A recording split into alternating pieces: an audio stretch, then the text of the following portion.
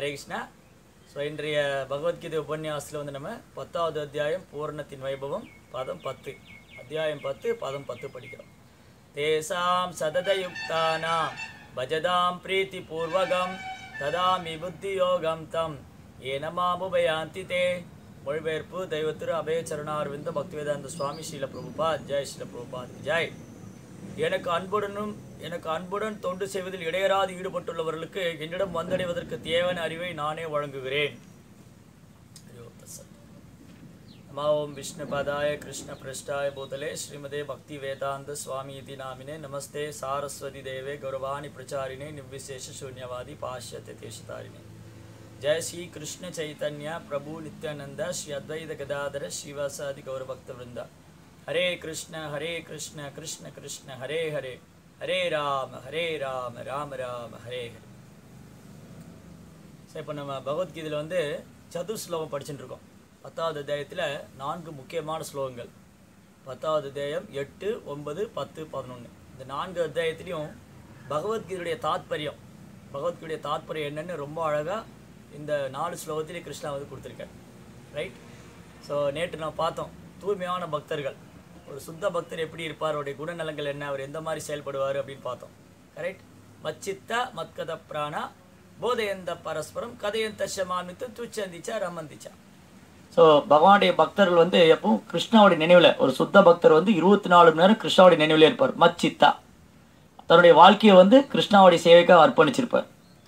So எப்படி அவர் முழுக்க முழுக்க கிருஷ்ணாவுடைய லீலைகள் மகிமைகளை கேட்பதிலும் பேசுவதிலும் தொடர்ந்து ஈடுபடுவார்? அப்படின்னு பார்த்தோம் நேற்று ஸ்லோகத்தில்.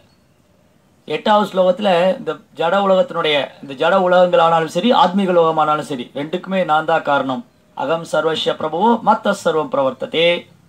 இதி மத்வா பஜதேமா புதாபாவ சமன்விதா இந்த ஜட உலகங்களானாலும் சரி ஆத்மீக உலகமானாலும் சரி ரெண்டுக்குமே ரெண்டுமே எங்கிட்டு எங்கிட்ட இருந்தா படைக்கப்பட்டது. நான் தான் அதுக்கு ஆதாரம் சொல்றார் கிருஷ்ணா.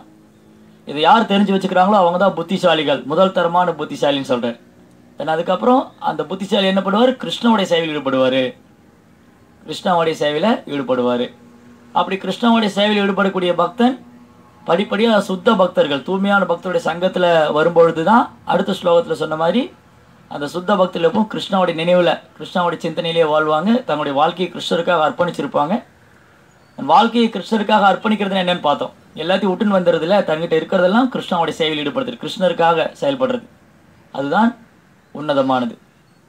அதைத்தான் இந்த ஸ்லோகத்தில் கிருஷ்ணா உறுதிப்படுத்துகிறார் தேசாம் சதத யுக்தானாம் சததம்னா எப்பொழுதும்? தொடர்ந்து. இடையறாது. தேசாம் சதத யுக்த பஜதாம் பிரீத்தி பூர்வகம் பக்தி அன்போட. அன்போடு செய்யக்கூடிய பக்தி. பகவானுக்கு யார் ஒருத்தர் வந்து தொடர்ந்து பகவான் மேலே அன்போடு பக்தி தொண்டு செய்கிறாங்களோ கிருஷ்ணாவுடைய சேவையில் ஈடுபடுறாங்களோ தேசாம் சததியுக்தானம் பஜதாம் பிரீத்தி பூர்வகம் தொடர்ந்து இடையராது யார் ஒருத்தர் வந்து ரொம்ப அன்போட பக்தியோட பகவானுடைய கைங்கரியத்தில் சேவையில் ஈடுபடுறாங்களோ அவங்களுக்கு பகவான் என்ன செய்கிறாரு சிலப்போ நம்ம கேட்பாங்க பக்தர்கள்லாம். ரொம்ப புத்திசாலிங்க. என்ன கேட்பாங்க ஆ நான் கிருஷ்ணாவுக்கு சேவை பண்ண எனக்கு என்ன கிடைக்கும்? இஸ்கானுக்கு வந்தால் ஹரே கிருஷ்ணாவுக்கு வந்தால் எனக்கு என்ன கிடைக்கும்? அப்படின்னு கேட்பாங்க அது என்ன கிடைக்கும் தான் இங்கே சொல்கிறார் கிருஷ்ணா. தேசாம் சததேப்தானாம் பஜதாம் பிரீத்தி பூர்வகம் பிரீத்தினா அன்பு. பஜதாம்னா பக்தி செய்யுது பகவான் மேலே அன்பு செய்யுது தொடர்ந்து எப்பொழுதும் தொடர்ந்து ஒரு பக்தன் பகவானுக்கு அன்பு செஞ்சிருந்தா பகவான் அவருக்கு என்ன செய்யறார்? ததாமி புத்தி யோகம் தம். புத்தி யோகா அவரை வந்தடைவதற்குண்டான பகவானை அடைவதற்குண்டான அறிவு நாலேஜ் அறி அறிவும் அது பகவானே கொடுத்துடுறார். அவர் அடைவதற்குண்டான அறிவு. எப்படி பகவான் பகவான் யார்? கிருஷ்ணா வந்து யார்? அவருடைய வைபவங்கள் என்ன? அவருடைய மகிமைகள் என்ன? இதை வந்து ரொம்ப தெளிவாக பகவான் தன் பக்தனுக்கு காமிச்சிடுறார். கிருஷ்ணா தன் பக்தனுடைய தன்னை சரணடையக்கூடிய பக்தர்களுக்கு என்ன கைமாறு பண்ணுறாரு அதுக்கு உண்டான புத்தி கொடுக்குறாரு. புத்தி ததாமி புத்தி யோகம் தம் ஏனமாம் உபயாந்திதே புத்தி. தன்னை சரணைக்கூடிய ஆத்மாக்களுக்கு தன்னை வந்தடைவுக்கு போதுமான அறிவு நானே கொடுத்துறேங்கிற கிருஷ்ணா. ஸோ அதனால் புத்தி யோகா. புத்தி யோகான்னு என்னது? இது ஏற்கனவே பார்த்தோம். ஞாபகம் வச்சுருக்கீங்களா? நம்ம போன வாரம் ரெண்டு போன நேற்று நடந்த உபன்யாசத்தில் கேட்டாலே மறந்துடுவோம். இந்த புத்தி யோகாங்கிற வார்த்தை எங்கே கேள்விப்பட்டிருக்கோம்? ஆ ரெண்டாவது அத்தியாயத்தில் கேள்விப்பட்டிருக்கு இல்லையா? ரெண்டாவது அத்தியாயத்தில் கிருஷ்ணா வந்து புத்தி யோகத்தை அர்ஜுனனுக்கு போதிக்கிறார். ஸோ புத்தி யோகம்னா என்னது? புத்தி யோகம்னா பக்தி யோகம் தான் பக்தி யோகத்தை தான் கிருஷ்ணா புத்தி கிருஷ்ண உணர்வில் செயல்படுவது. கிருஷ்ணருக்காக செயல்படுவது கிருஷ்ண உணர்வில் செயல்படுவது தான் புத்தி யோகம் ஸோ புத்தி அப்படின்னா அறிவு. யோகம்னா செயலாற்றுவது. அதாவது பகவானுக்காக செயல்படு கிருஷ்ண உணர்வோடு செயலாற்றுவது. யோகம்னா இணைத்துக்கொள்வது. யோகா அப்படின்னா கடவுளோடு இணைச்சிக்கிறது. கடவுளை அடைவதற்காக ஆன்மீகத்தில் முயற்சி பண்ணுறது ஆன்மீகத்தில் பக்குவம் அடையிறதுக்காக ஆன்மீக வாழ்க்கையில் பக்குவம் அடையிறதுக்காக முயற்சி பண்ணுறது தான் யோகா. இணைக்கிறது. கடவுளோடு த- பகவானோடு தன்னை இணைச்சிக்கிறது. அப்போ புத்தி யோகம்னா பக்தி யோகம் புத்தி யோகம்னாலே கிருஷ்ண உணர்வில் கிருஷ்ணருக்காக செயலாற்றுறது தான் புத்தி யோகம் மற்ற யோகங்கள்லாம் இருக்குது இதுக்கு முன்னாடி பார்த்துருக்கோம். என்னென்ன யோகம்லாம் பார்த்துருக்கோம்? யார் ஞாபகம் வச்சுருக்காங்க? ஆ கர்ம யோகா ஞான யோகா அஷ்டாங்க யோகா பக்தி யோகா. நாலு யோகா பார்த்தோம் இல்லையா? ஸோ கர்ம யோகா இந்த யோகானாலே வந்து வாழ்க்கையுடைய இறுதி லட்சியத்தை அடையிறது தான் பிறப்பு இறப்புங்கிற சக்கரத்திலிருந்து விடுபட்டு பிறப்பு இறப்புங்கிற சக்கரத்திலிருந்து விட்டு பகவானை அடையிறது. அதாவது ஆன்மீக வாழ்க்கையில் பக்குவம் அடையிறது மோட்ச முக்தி அடையிறது தான் யோகா. ஸோ கர்ம யோகா தன்னுணர்வு பாதையில் ஆன்மீக பாதையில் தன்னுடைய லட்சியத்தை நோக்கி முன்னேறிட்டு இருக்கிறவங்களுக்கு பலநோக்கு செயலில் அவங்க ஈடுபாடு செலுத்தும் போது ஏதாவது புண்ணிய கர்மங்கள் சாஸ்திரங்கள் சடங்குகள் சடங்கு விதிகள்லாம்.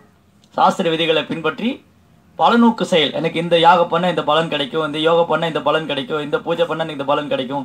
அப்படி பலனை எதிர்பார்த்து செய்யக்கூடிய செயல் தான் கர்ம யோகம். ஞான யோகாங்கிறது மனக்கற்பனையில் மனக்கற்பனையில் சாஸ்திரங்களை விசாரம் பண்ணி ஆராய்ச்சி பண்ணுறது தியான யோகா.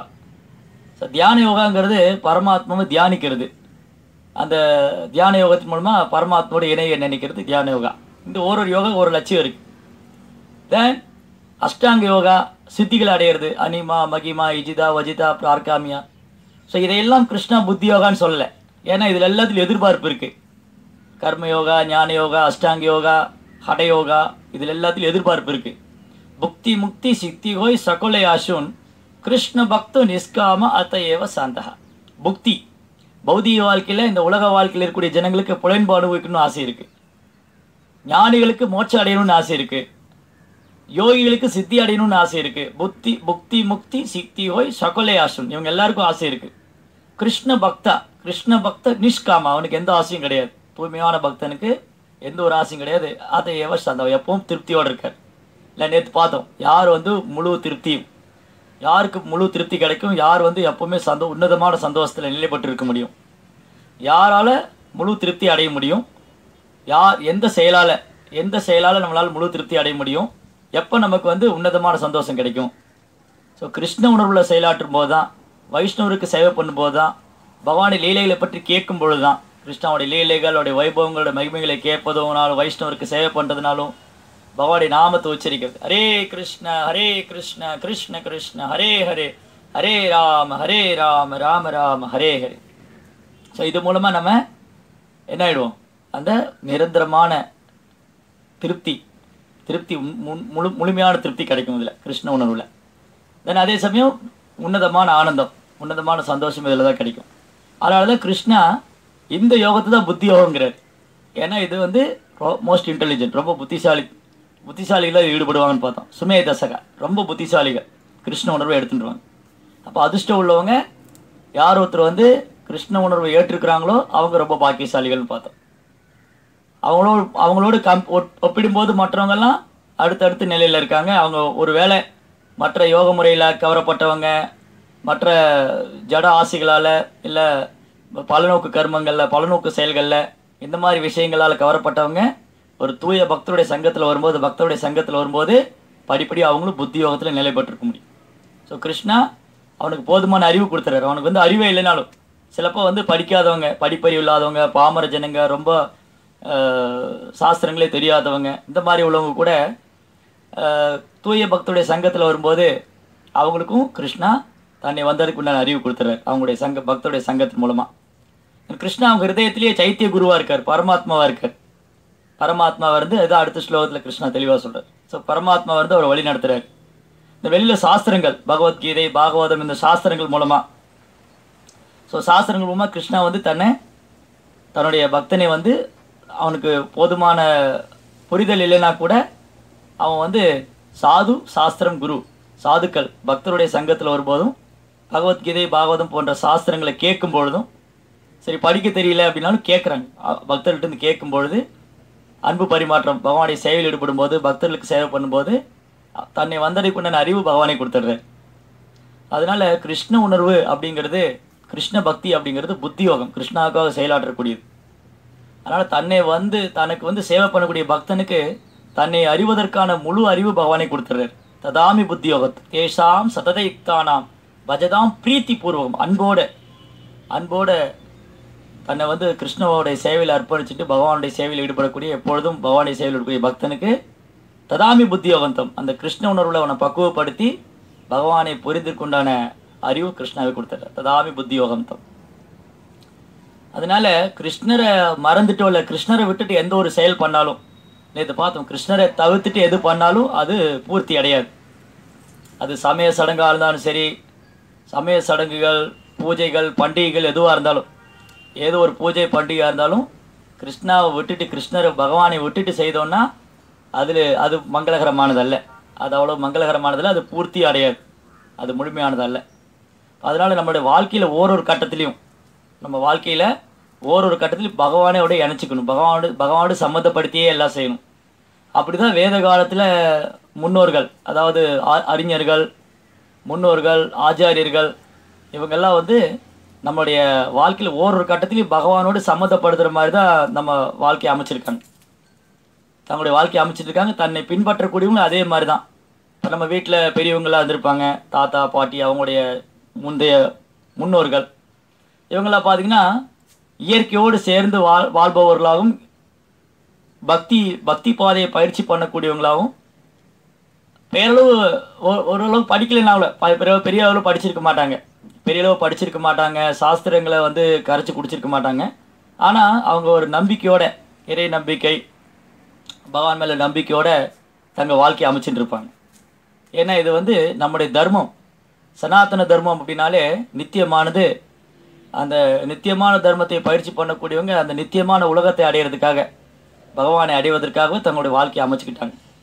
இப்போ இந்த முன்னோர்கள் நம்முடைய முன்னோர்கள்லாம் வந்து நிறைய வழிபாடுகள் பண்ணியிருக்காங்க.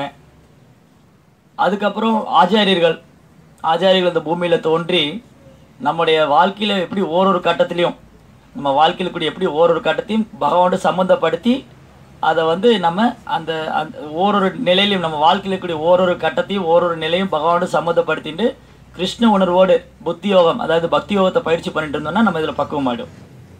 அதுக்கு தான் ஆச்சாரியனுங்க தோன்றாங்க. அதுதான் பண்டிகைகள் திருவிழாக்கள் எல்லாமே வந்து இப்போ பார்த்தீங்கன்னா நிறைய பண்டிகைகள்.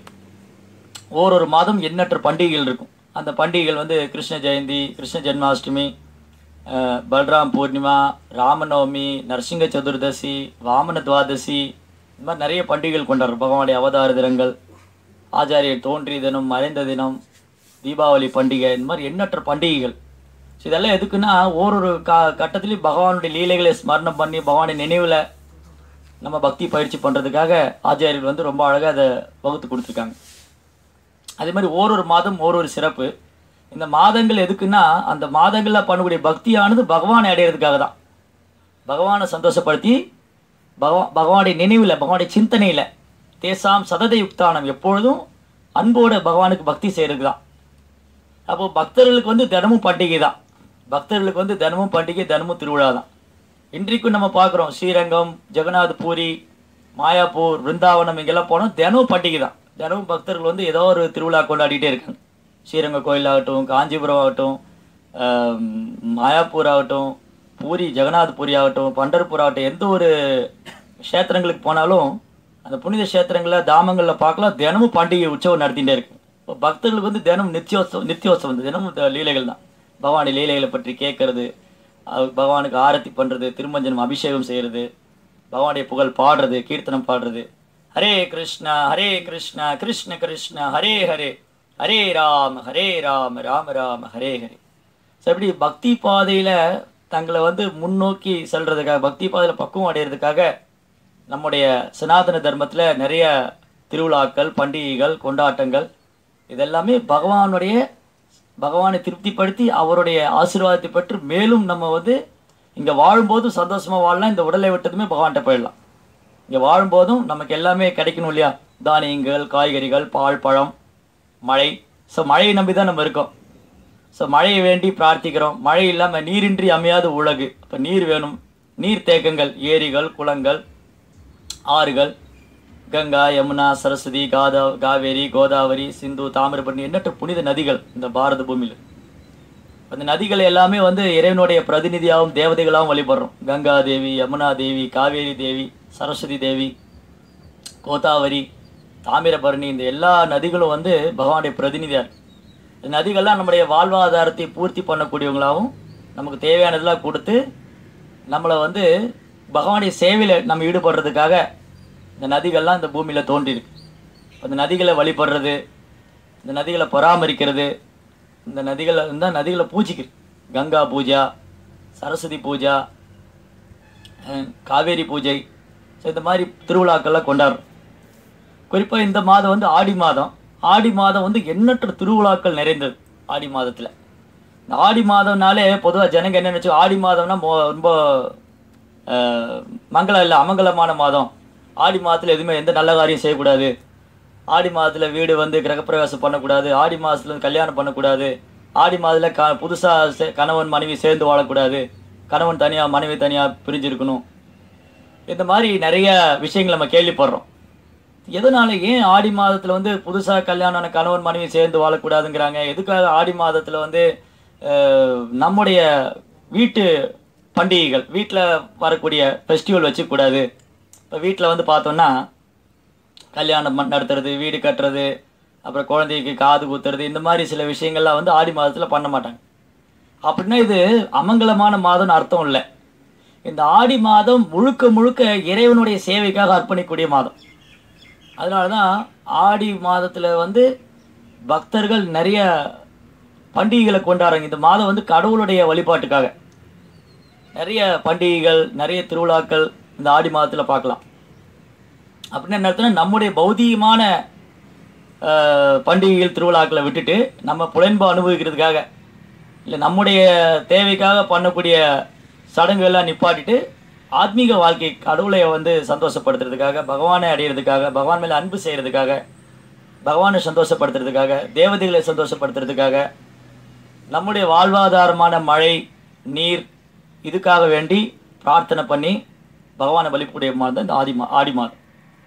ஸோ ஃபஸ்ட்டு ஆடி ஆடி ஃபஸ்ட்டு தொடங்குது. முதல் நாளே வந்து ஆடி தொடங்கும் போது பிரார்த்தனை பண்ணுவாங்க. இந்த ஆடி மாதம் வந்து மழை மழை மழை தொட தொடங்க போகுது. ஏன்னா இந்த மாதத்தில் விதை விதைப்பாங்க. ஆடி மாதத்தில் விதை விதைக்க அறுவடை தை மாதம் அறுவடை பண்ணுவாங்க. தையில் அறுவடை ஆடியில் விதை விதைக்கிறது. தானியங்கள் ஆடி வந்து பயிர் போட போகிறாங்க விவசாயிகளுக்கெல்லாம் தெரியும். விவசாயிகள்லாம் ஆடி மாதம் வந்துட்டாலே அவங்க நிலத்தையெல்லாம் சுத்தம் பண்ணி அதில் பயிரிட ஆரம்பிச்சிருவாங்க. நெல் கோதுமை என்ன என்ன உண்டோ தானியங்கள் காய்கறிகள் பால் பழம். ஸோ தங்களுக்கு என்ன வாழ்வாதாரத்துக்கு என்ன தேவையோ தானியங்கள் காய்கறிகள் பழங்கள்லாம் வந்து பயிரிட ஆரம்பிச்சிருவாங்க. ஸோ அதுக்கு வந்து முதல்ல ஆடி பிறப்பு.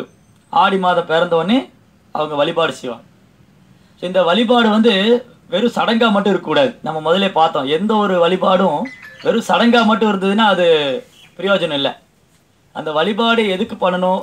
யாரை குறித்து வழிபடணும்? யார் வந்து எல்லாத்துக்கும் காரணமாக இருக்கார்? அந்த காரண கருத்தாக யார்? அப்படின்னு முதல்ல நம்ம தெரிஞ்சுக்கணும். ஸோ அந்த எல்லாத்துக்கும் காரணம் நம்ம பார்த்தோம். இந்த ஜட உலகங்களானாலும் சரி ஆத்மீக உலகமானாலும் சரி ரெண்டுக்கும் காரணம் பகவான் தான். இப்போ பகவானை சந்தோஷப்படுத்தணும். பகவானை சந்தோஷப்படுத்தணும்னா நம்ம ரொம்ப பெரிய கஷ்டம் ஒன்றும் இல்லை. ரொம்ப பெரிய பகவானை திருப்திப்படுத்துறது ஒண்ணும் பெரிய கஷ்டம் இல்லை. இந்த உலகத்தில் ரொம்ப கஷ்டமானது நம்முடைய புலங்களை திருப்திப்படுத்திக்கிறது தான் நம்முடைய புலங்களை திருப்திப்படுத்த முடியாது. நம்ம சொந்தக்காரங்களை திருப்திப்படுத்த முடியாது. நம்ம நண்பர்களை திருப்திப்படுத்த முடியாது. ஜட உலகத்தில் யாரையுமே திருப்திப்படுத்திட முடியாது. அவ்வளோ சுலபமாக இந்த ஜட உலகத்தில் நம்ம யாரையுமே சுலபமாக திருப்திப்படுத்திட முடியாது. நம்முடைய புலன்களையோ நண்பர்களையோ உறவினர்களையோ ரொம்ப கடினம். திருப்தி அடைய மாட்டாங்க. ஆனால் பகவான் கிருஷ்ணா ரொம்ப கருணை வாய்ந்தவர். ரொம்ப கருணை வாய்ந்தவர். ரொம்ப சுலபமாக திருப்தி அடைந்துவார் தன் பக்தன். பக்தர்கள் வந்து அன்பு செய்யும்போது. ஏற்கனவே பார்த்த ஒன்பதாம் அத்தியாயத்தில் பத்திரம் புஷ்பம் பழம் தோயும் யோமே பக்தியா பிரச்சதி ததகம் பக்தி உபகிருதம் அஷ்னாமி பெரியதாத்மனா எனக்கு யாராவது ஒரு இலையோ பூவோ காயோ பழமோ பக்தியோட அன்போடு கொடுத்தா அதை நான் ஏற்றுக்கிறேங்கிற கிருஷ்ணா ஸோ ப கிருஷ்ணாவை ரொம்ப சுலமாக திருப்திப்படுத்திடலாம் அந்த கிருஷ்ணா கிருஷ்ணர் சைதன்ய மகாபிரபுவை தோன்றினார் சைதன்ய மகாபிரபு ரொம்ப ரொம்ப கருணை வாய்ந்த அவதாரம் நமோ மகாவதான்யாய் ஸோ சைதன்ய மகாபிரபு எப்படி திருப்தி அடைகிறாருன்னா ரொம்ப சுலபமாக சைதன்ய மகாபிரபு திருப்திப்படுத்திடலாம் யாராவது அவங்க முன்னாடி வந்து சைதன்ய மகாபிரபு நித்யானந்த சைதன்ய மகாபிரபு நித்யானந்த பிரபு முன்னாடி வந்து ரெண்டு கை உயர்த்திட்டு ஹரே கிருஷ்ணா ஹரே கிருஷ்ணா கிருஷ்ண கிருஷ்ணா ஹரே ஹரே ஹரே ராம ஹரே ராம ராம ராம ஹரே ஹரே. அவங்க நாம ஜபிக்கும் போது சைதன்ய மகாபிரபு அதுலேயே சந்தோஷமாயிடுறாரு. வெறுமனே கலியுகத்தில் நாம சங்கீர்த்தனம் பண்ணாலே சைதன்ய மாபுரம் நம்ம மேலே ரொம்ப திருப்தி ஆயிடுறாரு இது இது ரொம்ப எளிமையான மார்க்கம் கூட ரொம்ப சுகமானது கூட. ரொம்ப சுகமானது. இதுதான் நமக்கு பூரணமான திருப்தியும் முழு திருப்தியும் ஆத்மீக ஆனந்தம் ஆ- முழுமையான உன்னதமான சந்தோஷம் தரக்கூடியதுன்னு பார்த்தோம். அப்போ எந்த ஒரு விஷயம் பண்ண ஏதோ ஒரு செயல் பண்ண ஆரம்பித்தாலும் அந்த செயல் மங்களகரமாகணும் அப்படின்னா அது ஒரு மாதம் பிறப்ப ஒரு மாதம் பிறக்குது. இல்லை ஏதோ ஒரு செயல் பண்ணுறோம் இல்லை ஏதோ ஒரு பூஜை பண்ணுறோம் இல்லை ஏதோ ஒரு பண்டிகை கொண்டாடுறோம் எதுவாக இருந்தாலும் எந்த ஒரு செயல் பண்ணுறதுக்கு முன்னாடி பகவானை நினச்சிட்டு பகவானுடைய நினைவில் அவருடைய நாமத்தை உச்சாரணம் பண்ணி ஹரே கிருஷ்ண ஹரே கிருஷ்ண கிருஷ்ண கிருஷ்ண ஹரே ஹரே ஹரே ராம ஹரே ராம ராம ராம ஹரே ஹரி. அப்படி தொடங்கும்போது அது அந்த இடம் மங்களத்தில் மங்களமாயிடும் மங்களானாம் ச மங்களம். பவித்ரானாம் பவித்ரம் சோ மங்களானாம் ச மங்களம். பகவான் வந்து தூய்மையானவற்றெல்லாம் தூய்மையானவர். மங்களகாரமான மாற்றெல்லாம் மங்களகரமானவர். அப்போ பகவானை மனதில் நினைத்த மாத்திரத்தில் பகவானுடைய நாமத்தை உச்சரித்த மாதத்தில் அது பெயரளவு அமங்கலமான காரியமாக இருந்தால் கூட சரி. பெயரளவு வந்து எ- எந்த இடமா இருந்தாலும் இடம் நேரம் காலம் எதுவாக இருந்தாலும் அது உடனே ஆஸ்பிஷியல் உடனே மங்க மங்களமாயிடும். உடனே மங்களகரமான மாதமாயிடும். இப்போ ஆடி மாதம் நம்ம தான் தப்பாக புரிஞ்சுட்டு இருக்கோம். ஆடி மாதம்னா அது அமங்கலம். இந்த ஜட உலகத்தில் எல்லாமே அமங்கலம் தான். இது மங்களம் இங்கே மங்களமே கிடையாது. ஒரு தடவை பிரபுபார் வந்து ஒரு உபன்யாசம் சொல்கிறாரு ஜட உலகனாலே அமங்கலம் தான் இங்கே மங்களமே கிடையாது. இங்கெல்லாம் பேரளவான மங்களம் தான். அதுக்கு பிரபுபார் ரொம்ப அழகாக உதாரணம் கொடுக்குறாரு. என்ன சொல்கிறாரு இந்த கிராமப்புறங்கள்ல என்ன பண்ணுவாங்க? வெளியில் வெட்ட வெளியில் மலம் கழிப்பாங்க. கிராமப்புறங்களில் வெளியில் வெட்ட வெளியில் மலம் கழிப்பாங்க. கொஞ்ச நேரம் மலம் கழிச்சிட்டு போனதுக்கப்புறம் சூரிய வெளிச்சம் பட்டு அந்த இடம் காஞ்சி போயிடும் வேறு வேற யாராவது வந்து மலம் கழிச்சா அந்த இடம் இன்னும் காயாம இருக்கும். அப்போ ஒருத்தர் வந்து சொல்றாரு இந்த மலத்துக்கு அந்த மலம் நல்லா இருக்கு. இந்த மலம் காயில இது அசுத்தமா இருக்கு. இந்த மலம் காஞ்சிருச்சு. இப்படிதான் இது ஜட உலகம் ஜட உலகத்துல எல்லாமே அழுக்கு தான் மங் அமங்கலம் தான் இது வந்து அது இப்படி எல்லாம் இது மங்களம் இது அமங்கலம் எல்லாம் கிடையாது. அப்ப ஜட உலகத்துல யார் வந்து புத்தி யோகம் அல்லது பக்தி யோகத்தை பின்பற்றுறாங்களோ தன்னுடைய செயலை பகவானை இணைச்சிக்கிறாங்களோ அதுதான் மங்க அப்பதான் அது மங்களமாகும். இப்போ ஜட உலகமே அமங்கலமானதா? ஜட உலகமே இருள் நிறைந்தது தான் இங்க வெளிச்சம் கிடையாது. சூரியன் இருக்க போய் தான் நமக்கு வெளிச்சம் கிடைக்குது. மின்சாரம் இருக்க போய் தான் நமக்கு வெளிச்சம் கிடைக்குது. அப்போ இந்த உலகம் வந்து நம்ம அமங்கலமான இடம். ஆனால் இங்கே உடனே பகவானை நினைத்த உடனே இது மங்களமாயிடுது. அப்போ எந்த ஒரு செயல் பண்ணாலும் எந்த ஒரு பண்டிகை கொண்டாட ஆரம்பித்தாலும் மாத பிறப்போ பண்டிகையோ செயலோ ஏதுவாக இருந்தாலும் அது பகவானுடைய சிந்தனையோட பகவானுடைய நினைவோட பகவானுடைய நாமத்தை ஜபிச்சு ஹரே கிருஷ்ண ஹரே கிருஷ்ண கிருஷ்ண கிருஷ்ண ஹரே ஹரே ஹரே ராம ஹரே ராம ராம ராம ஹரே ஹரே. அது மங்களமாயிடும். அதனால் ஆடி மாதம் அமங்கலமானது இதெல்லாம் செய்யக்கூடாது அப்படின்னு எதுக்கு சொல்கிறாங்க இது அமங்கலமானது ஒன்றும் கிடையாது. இது மங்களமானது தான் ஆனால் எதுக்கு நம்முடைய பர்சனலாக நம்ம தனிப்பட்ட விதத்தில் கொண்டாடக்கூடிய விஷயங்கள்? இப்போ கல்யாணம் பண்ணுறது கணவன் மனைவி புதுசாக கல்யாணமான தம்பதிகள் சேர்ந்து இருக்கிறது அப்புறம் குழந்தை பெற்றுக்கிறதோ இல்லை கணவன் மனைவி சேர்றதோ இதெல்லாம் ஏன் இந்த மாதம் பண்ணக்கூடாதுன்னு சொன்னால் இந்த மாதத்தை தான் வந்து விதை விதைக்கிற மாதம். அப்போ விவசாயம் பண்ணக்கூடிய மாதம். நிலத்தையெல்லாம் உழுது க்ளீ- சுத்தம் பண்ணி விதை விதைச்சி மழை மழைக்காக பிரார்த்தனை பண்ணி கோயிலில் போய் பகவானை ஆராதனை பண்ணி பகவான்கிட்ட பிரார்த்தனை இந்த மாதிரி நிறைய ஆன்மீக விஷயங்கள் நடை நடைபெற ந- ஆன்மீக விஷயத்துக்கு உண்டான சூழ்நிலைகள் நிறைய வேலைகள். உடலால் உடலால் வந்து விவசாயி என்ன பண்ணுறாரு இடத்த வந்து உழுது பயிராக்கணும். அந்த மாதிரி நிறைய ஆன்மீக விஷயங்கள் ஒரு ஒரு பக்கம் வேலை தன்னுடைய வாழ்வாதாரம் அதுக்காகவும் இன்னொரு பக்கம் ஆன்மீகத்துக்காகவும் இருக்கிறதுனால மற்ற விஷயங்களை நிறுத்தி வச்சுக்கிறது. சரி இந்த மாதம் கல்யாணம் பண்ண வேண்டாம் ஆடி மாதம் கல்யாணம் பண்ண வேண்டாம் கல்யாணம் வேண்டாம் ஆடி மாதம் புதுசாக சேர்ந்த கணவன் மனைவி சேர்ந்திருக்க வேண்டாம். ஏன்னா பெண்களும் விவசாயத்தில் ஈடுபடுவாங்க. ஆண்களும் விவசாயம் பண்ணுறாங்க பெண்களும் விவசாயம் பண்ணுறாங்க அந்த புதுசாக க கல்யாணமான கணவன் மனைவி சேர்ந்தாங்க எப்படி அவங்க விவசாயம் பண்ண எப்படி அவங்க நிலத்தை உழுதுவாங்க பயிராக்குவாங்க? எப்படி அவங்க வாழ்வாதாரத்துக்கு என்ன பண்ணுவாங்க? அப்போது என்ன பண்ணுவாங்க? அப்போ கணவன் மனைவி சேர்ந்தால் அந்த பெண்ணானவள் கருத்தரிப்பாள். அப்போ அவனால் விவசாயம் செய்ய முடியாது. அதனால் அந்த ஒரு மாதம் வந்து அவங்க தனியாக இருந்து அவங்களுடைய விவசாய காரி விளை விளைநிலங்களில் விளைநில நிலங்களில் விவசாயங்களில் செயல்படுறதுக்காக இந்த மாதிரி ஒரு ஒரு ஒரு ஒரு பண்டிகைக்கு பின்னாடியும் அதுக்கு பின்னாடி நிறைய காரணங்கள் இருக்குது ஸோ நம்ம அந்த அந்த நேரத்தில் வந்து மற்ற விஷயங்களில் ஈடுபட்டிருந்தோம் பௌதிக விஷயங்களில் ஈடுபட்டோம்னா நம்ம வந்து இந்த இந்த காலத்தை வீண் பண்ணிடுவோம். இந்த இந்த ம- மழை மழை தொடங்கக்கூடிய காலம் ஸோ இந்த காலத்தில் வந்து ஏன்னா மொ முதல்ல நம்ம வாழ்வாதாரமே விவசாயம் தான் தானியங்கள் காய்கறிகள் பழங்கள் இதை நம்பி தான் நம்ம இருக்கோம் பால். அப்போ இதுதான் வாழ்வாதாரம். ஸோ என்னதான் பெரிய ஐடி பார்க்கு டெக்னாலஜி டெவலப்மெண்ட் எல்லாம் சொல்கிறோம் இல்லையா? ஐடி பார்க் வந்துச்சு நான் சாஃப்ட்வேர் இன்ஜினியர் இப்படிலாம் சொன்னால் கூட நம்ம என்ன எதை நம்பி இருக்கோம்? நம்ம ஃபஸ்ட்டாக வந்து போல்ட் நட்டையோ இல்லை கம்ப்யூட்டர் ஸ்பேர் பார்ட்ஸோ சாப்பிட முடியாது. ஃபஸ்ட்டாக நம்ம தானியங்கள் காய்கறிகள் பால் பழம் அதை நம்பி தான் இருக்கோம். அப்போ அதுதான் விவசாயம் தான் நமக்கு ஆதாரம். அதனால வி- விஞ்ஞான முன்னேற்றங்கிற பேரில் எவ்வளோக்கு எவ்வளோ நம்ம விவசாயத்தை கைவிடுறோமோ எவ்வளோக்கு எவ்வளோ வந்து நிலங்களை வந்து நம்ம அசுத்தப்படுத்துகிறோமோ நிலங்களை கெடுத்துடுறோமோ நீர்த்தக்கங்கள் நதிகள் குளங்கள்லாம் வீணாக்கிடுறோமோ அப்போ நம்ம வாழ்வாதாரத்துக்கு ரொம்ப கஷ்டப்படுவோம். ரொம்ப கஷ்டப்பட்டு விலைவாசி உயர்வு பற்றாக்குறை இதெல்லாம் ஏற்படும்.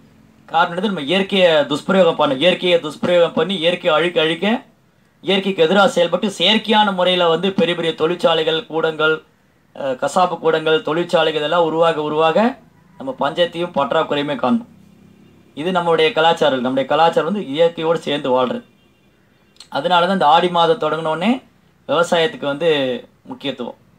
விவசாயம் பண்ணணும் நிலங்களை பராமரிக்கணும் அது வந்து அதில் வந்து தானியங்களை போடணும் அதுதான் உங்களுக்கு வாழ்வாதாரம். ஸோ எப்படி ஆடி பிறப்பு வந்தது? அப்புறம் ஆடி அமாவாசை. ரெண்டு நாளைக்கு முன்னாடி ஆடி அமாவாசை கொண்டாடணும். ஸோ ஆடி அமாவாசை என்னைக்கு போய் எல்லாம் தர்ப்பணம் பண்ணுவாங்க மூதாதையர்களுக்கு. சில நேரங்களில் இந்த தர்ப்பணம் செய்கிறது எதுக்காக? இதெல்லாம் சும்மா ஒரு சடங்கு சமய சடங்கு ஆக்சுவலி இது எல்லாத்துமே ஒரு பின்னாடி நிறைய காரணங்கள் இருக்குல்ல காரணம் இல்லாமல் சாஸ்திரம் வந்து எது விஷயத்தையும் சொல்லியிருக்கு சொல்ல மாட்டாங்க. காரணம் இல்லாமல் சாஸ்திரங்கள் வந்து எதையுமே சொல்லாது. அப்போ இறந்து போன மூதாதையர்கள் என்ன நிலை அடைஞ்சிருக்காங்கன்னு நமக்கு தெரியாது. நம்ம என்ன நினைக்கிறோம்? நம்ம இறந்து போனதுக்கப்புறம் எல்லாம் முடிஞ்சதுன்னு நினைக்கிறோம். நம்ம இறந்து போனதுக்கப்புறம் எல்லாம் முடிஞ்சது. இந்த உடலில் உடலில் தான் விடுறோம் ஆத்மாக்கு மரணம் கிடையாது. இந்த உடல் தான் மாறுது. ஆத்மா ஒரு உடந்து இன்னொரு உடலுக்கு போகுது. அப்போ இந்த உடலை விட்டு போகும்போது நம்ம என்ன கொண்டு போகிறோம் எதையுமே எடுத்துகிட்டு போக முடியாது. சொத்து காரு பங்களா நகை எல்லாத்தையும் விட்டுட்டு தான் போகணும்.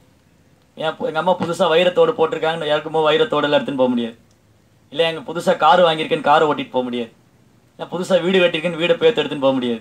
நிலத்தை எடுத்துகிட்டு போக முடியாது. எதையுமே இங்கே எடுத்துன்னு போக முடியாது. ஸோ நம்ம இறந்த உடனே நம்ம கூட வர்றது நம்ம செய்த காரியங்கள் தான். நல்ல செயல்கள் தீய செயல். நல்ல வினையும் தீய வினையும் தான் நம்ம கூட தொடர்ந்து வருது. இந்த ஓரொரு பிறவி தோறும் செய்த ஓரொரு வினைக்கு தகுந்த மாதிரி நம்ம உடல் எடுத்து கஷ்டப்படுறோம். தாவரங்கள் பறவைகள் விலங்கினங்கள் புழுக்கள் பூச்சி எண்ணற்ற ஜீவராசிகள் என்ற உயிரினங்கள் நம்ம இந்த வாழ்க்கையில் பார்க்குறோம். அப்போ மனித வாழ்க்கையை வந்து தன்னுணர்வு அடையிறதுக்காக தன்னை வந்து பக்குவப்படுத்திட்டு புத்தி யோகம் தான் யாருன்னு தெரிஞ்சுட்டு பகவான் யாருன்னு தெரிஞ்சு பகவானை சேவையில் ஈடுபடுறதுக்கு தான் இந்த மனித வாழ்க்கை. இந்த புத்தி யோகத்தை ப பக்தி யோகத்தை பயிற்சி பண்ணுறதுக்கு தான். அப்போ நம்முடைய முன்னோர்கள் வந்து என்ன நிலையில் இருக்காங்கன்னு இப்படி தெரியும்? நம்ம அவங்க என்ன மாதிரி வாழ்ந்தாங்க? சிலப்போ நமக்கு தாத்தா பாட்டி எப்படி வாழ்ந்தாங்கன்னு தெரியும். அவங்களுக்கு முன்னாடி இருந்தவங்களாம் எப்படி வாழ்ந்தாங்கன்னு எப்படி தெரியும் நமக்கு? அவங்க ந- நல்ல செயல் பண்ணாங்களா? தீய செயல் பண்ணாங்களா? கதி என்ன? அப்போ அந்த முன்னோர்கள் அவங்களும் நம்ம கடன் பட்டிருக்கோம். இந்த இந்த ஒரு குறிப்பிட்ட குடும்பத்தில் சமுதாயத்தில் ஒரு குறிப்பிட்ட குடும்பத்தில் குலத்தில் பிறந்ததுனால. எப்போ ஒரு ஜீவராசி இந்த உலகத்துக்கு வரானோ அப்போ அவன் கடன்காரன் ஆகிடும் நான் வேணா சொல்லலாம் நான் யார்ட்டையும் கடன் வாங்கவே இல்லைன்னு. நம்ம நினச்சிக்கிறோம் படம் பணம் வாங்குறதா கடன். பணம் காசு வாங்குறது இதுதான் கடன் நினச்சிக்கிறோம். ஆனால் இது இல்லை உண்மையான கடன். ஸோ உண்மையான கடன் என்னென்னா தேவர். தேவர்களுக்கு நம்ம கடன் பட்டிருக்கோம். தேவர்கள் வந்து நமக்கு மழை இந்திரன் மழை கொடுக்குறாரு சூரியன் வெளிச்சம் கொடுக்குறாரு சந்திரன் வெளிச்சம் கொடுக்குறாரு வருணன் நீர் கொடுக்குறாரு வாயு காற்று கொடுக்குறாரு அக்னி நெருப்பு கொடுக்குறாரு கங்கா யமுனா சரஸ்வதி இவங்களுக்கெல்லாம் நம்ம கடன் பட்டிருக்கோம் தேவர்கள். ஏன்னா இவங்கெல்லாம் நமக்கு நிறைய பண்ணுறாங்க நிறைய உதவி செய்கிறாங்க நம்ம நம்ம வாழ்கிறதுக்கு நம்ம இந்த உலகத்தில் வா ஜீவனம் பண்ணுறதுக்கு நிறைய உதவி பண்ணுறாங்க தேவர்கள்லாம் ரிஷிகள் ரிஷிகள் முனிவர்கள் பாகவதர்கள் சாதுக்கள் பக்தர்கள்லாம் வந்து இந்த உலக நம்பிக்கையாக தவங்கள் இருக்காங்க விரதங்கள் இருக்காங்க பிரார்த்தனை செய்கிறாங்க வெறுமனே அந்த சாதுக்கள் நடமா நட நடமாடுறதுனாலேயே நமக்கு வந்து ரொம்ப பாக்கியம். இந்த ஜட உலகத்தில் இந்த உலகத்தில் பக்தர்கள் பாகவதர்கள்லாம் நடந்து போகிறாங்க வராங்க பக்தியை பயிற்சி பண்ணுறாங்க ஹரே கிருஷ்ணா ஹரே கிருஷ்ணா கிருஷ்ண கிருஷ்ணா ஹரே ஹரே ஹரே ராம ஹரே ராம ராம ராம ஹரே ஹரே. பக்தியை பயிற்சி பண்ணி அவங்க பகவானுடைய சேவையில் ஈடுபடுறாங்க. அப்போ அந்த சாதுக்களுக்கு நம்ம கடன் பட்டிருக்கோம் பக்தர்களுக்கு கடன் பட்டிருக்கோம் முனிவர்கள் ரிஷிகள் வியாசதேவர் கௌதமர் அகஸ்தியர் இந்த மாதிரி முனிவர்கள்லாம் இந்த சமுதாயத்துக்கு நிறைய சாஸ்திரங்கள் புராணங்கள் இதிகாசங்கள் புனிஷத்தங்கள்லாம் கொடுத்துருக்காங்க. வியாசதேவர். இவங்களுக்கெல்லாம் நம்ம கடன் பட்டிருக்கோம் பூதாப்த மற்ற உயிர்வாழிகள். பசு நமக்கு பால் கொடுக்குது எருது வந்து நிலத்தை உயிர் உ- உழுது பயிராக்கிறதுக்கு உதவி பண்ணுது. அப்போ மற்ற ஜீவராசிகள் நம்ம கடன்பட்டிருக்கோம். தேவரிஷி பூதாப்த நினாம பித்ருநான் பித்ருக்கள். நம்முடைய முன்னோர்கள் நம்முடைய முன்னோர்கள் நம்முடைய குறிப்பிட்ட சமுதாயத்தில் ஒரு குறிப்பிட்ட குலத்தில் பிறந்திருக்கோம் இல்லையா? அவங்களுக்கு நம்ம கடன் பட்டிருக்கோம் ஏன்னா அந்த சமுதாயத்தில் தான் நம்ம வரோம் அவங்களுடைய வழியில் தானே அந்த அந்த அந்த அந்த அந்த தொடர்ந்து அந்த இதில் தானே வந்துட்டு இருக்கோம் நம்ம. அப்போ அவங்களுக்கு நம்ம கடன் பட்டிருக்கோம். தேவரிஷி பூதா திருநாமை பத்திரங்கன்னா இவங்களுக்கெல்லாம் கடன் பட்டிருக்கோம் நம்ம. யாருக்கெல்லாம்? தேவர்கள் ரிஷிகள் மற்ற ஜீவராசிகள் பித்திருக்கள். அப்போ பித்திருக்களுக்கு வந்து நம்ம அதுக்கு அதுக்கு உண்டான தர்ம பித்ரு ஸ்ராத்தா ஸ்ராத்தா பண்ணணும். இறந்து போன மூதாதைகளுக்காக அவங்களுக்காக வழிபடுறது தான் ஸ்ராத்தா செரமனி இது வந்து குறிப்பாக ஆடி அமாவாசை தை அமாவாசை இந்த மாதிரி காலங்களில் பண்ணுவாங்க. இந்த ஸ்ராத்தா கொடுக்கறது வந்து அந்த முன்னோர்கள் ஒரு வேலை ஒரு வேளை அவங்க வந்து பாவகாரியம் பண்ணியிருந்தாங்கன்னா அவங்க வேறு உடல் கிடைக்காம கஷ்டப்பட்டு இருக்கலாம். இல்லை அவங்க வந்து ரொம்ப மோசமான நிலையில் இருக்கலாம். ஸோ அவங்களுக்காக வேண்டி பகவான் இடத்துல பிரார்த்திக்கிறது. தன்னுடைய மூதாதையர்களுக்காக வேண்டி முன்னோர்களுக்காக வேண்டி பிரார்த்தனை செய்து அவங்களுக்காக தர்ப்பணம் செய்து பிராமணர்கள் வைஷ்ணவர்களுக்கு தானம் கொடுக்கறது. அரிசி வாழைக்காய் அந்த மாதிரி தானம் கொடுக்கறது தானியங்களை தானமாக கொடுக்கறது. அவங்களுக்கு பாதுகை செப்பல் வாங்கி தருது கொடை வாங்கி கொடுக்கறது. இந்த மாதிரி நிறைய விசிறி செப்பல் கொடை அவங்களுக்கு உண்டான வஸ்திரங்கள் வாங்கி கொடுக்கறது துணிமணி ஆபரணங்கள். இது அவங்களுடைய வாழ்வாதாரத்துக்கு தேவையானதெல்லாம். ஸோ எப்படி பிராமணருக்கு வைஷ்ணவருக்கு சேவை பண்ணுறது அப்புறம் அந்த முத மூதாதையர்கள் முன்னோர்களுக்காக பிரார்த்திக்கிறது. இது வந்து எல்லா இல்லறத்தில் இருக்கக்கூடிய இல்லற வாழ்க்கையில் இருக்கக்கூடிய ஓரொரு கிரகஸ்தர்களும் செய்ய வேண்டிய முக்கியமான ஒரு சடங்கு. நம்ம அன்றைக்கி பேசிட்டு இருந்தோம். எ- முன்ன உபன்யாசத்தில் ஞாபகம் வச்சிருக்கீங்களே தெரியல. இதில் இந்த சம்ஸ்காரங்களை பற்றி பேசணும் சம்ஸ்காரில் வந்து அந்தியம கிரியா. அந்த இறந்து போனதுக்கப்புறம் செய்ய ஒருத்தர் இறந்ததுக்கப்புறம் என்னென்ன பண்ணணும்? ஒருத்தர் இறந்ததுக்கப்புறம் அவர் அந்த அவரை வந்து புத்ரா புன்னாடா அப்படிங்கிற நரகத்துக்கு போகாமல் தடுக்கிறது தான் புத்திரன். ஸோ புத்திரனுக்கு நிறைய கடமைகள்லாம் இருக்குது இந்த புத்திரனாகப்பட்டவன் மகனானவன் தன்னுடைய தந்தையை வந்து நரகத்துக்கு போகாமல் காப்பாற்றணும் அதுக்காக அவன் தான தர்மங்கள்லாம் செய்யணும். அவருக்கான சில சடங்குகளை வந்து இந்த ஷாதா பிண்டம் கொடுக்கறது. எள்ளும் தண்ணியும் கொடுத்து பிண்டம் கொடுத்து ஷாதா பண்ணி அவரை வந்து நல் கதி அடைய வைக்கிறதுக்காக. இதெல்லாம் பொதுவாக சாஸ்திரங்களை சொல்லக்கூடிய வழிமுறைகள்.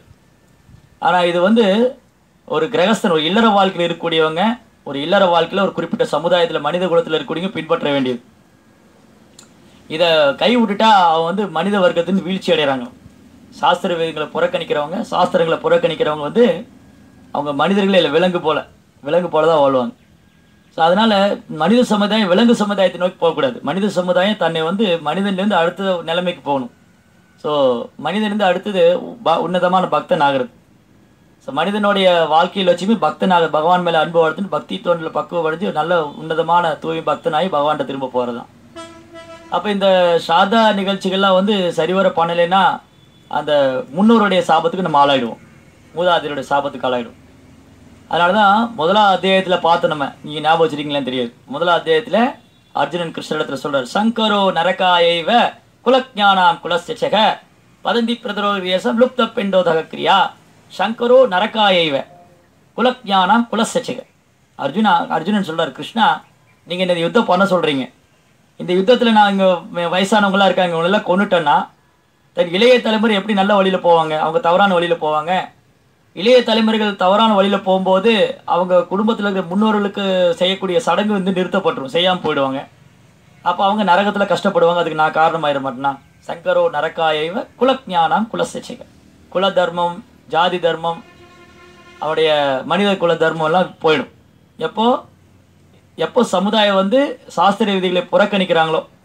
சாஸ்திரத்தை புறக்கணித்து சாஸ்திர விதிப்படி வாழாம தன்னுடைய மனப்போக்கின போக்கில் வாழ ஆரம்பித்தேன் புலன்பத்துக்கு அடிமையாகி மேற்கத்திய கலாச்சாரத்தை பின்பற்றி தன் மனம் போன போக்கில் வாழும்போது அந்த சமுதாயம் வீழ்ச்சி அடையும் சொல்கிறார் அர்ஜுன்.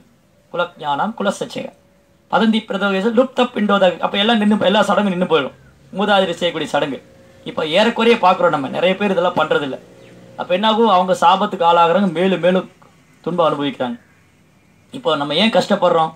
இப்போ வந்து மழை இல்லாமல் கஷ்டப்படுறோம் தண்ணி இல்லாமல் கஷ்டப்படுறோம் அப்புறம் சரியாக தானியங்கள் கிடைக்கல எவ்வளோ கஷ்டம் அனுபவிச்சுட்டு இருக்கோம். இதுக்கெல்லாம் காரணம் வந்து நம்ம நிறைய சாபத்துக்கு ஆள தேவர்கள் தேவருடைய சாபத்துக்கு ஆள தேவர்கள் நமக்கு வந்து நிறைய கொடுக்குறாங்க நம்ம அவங்களை திருப்திப்படுத்துறதில்ல அவங்க.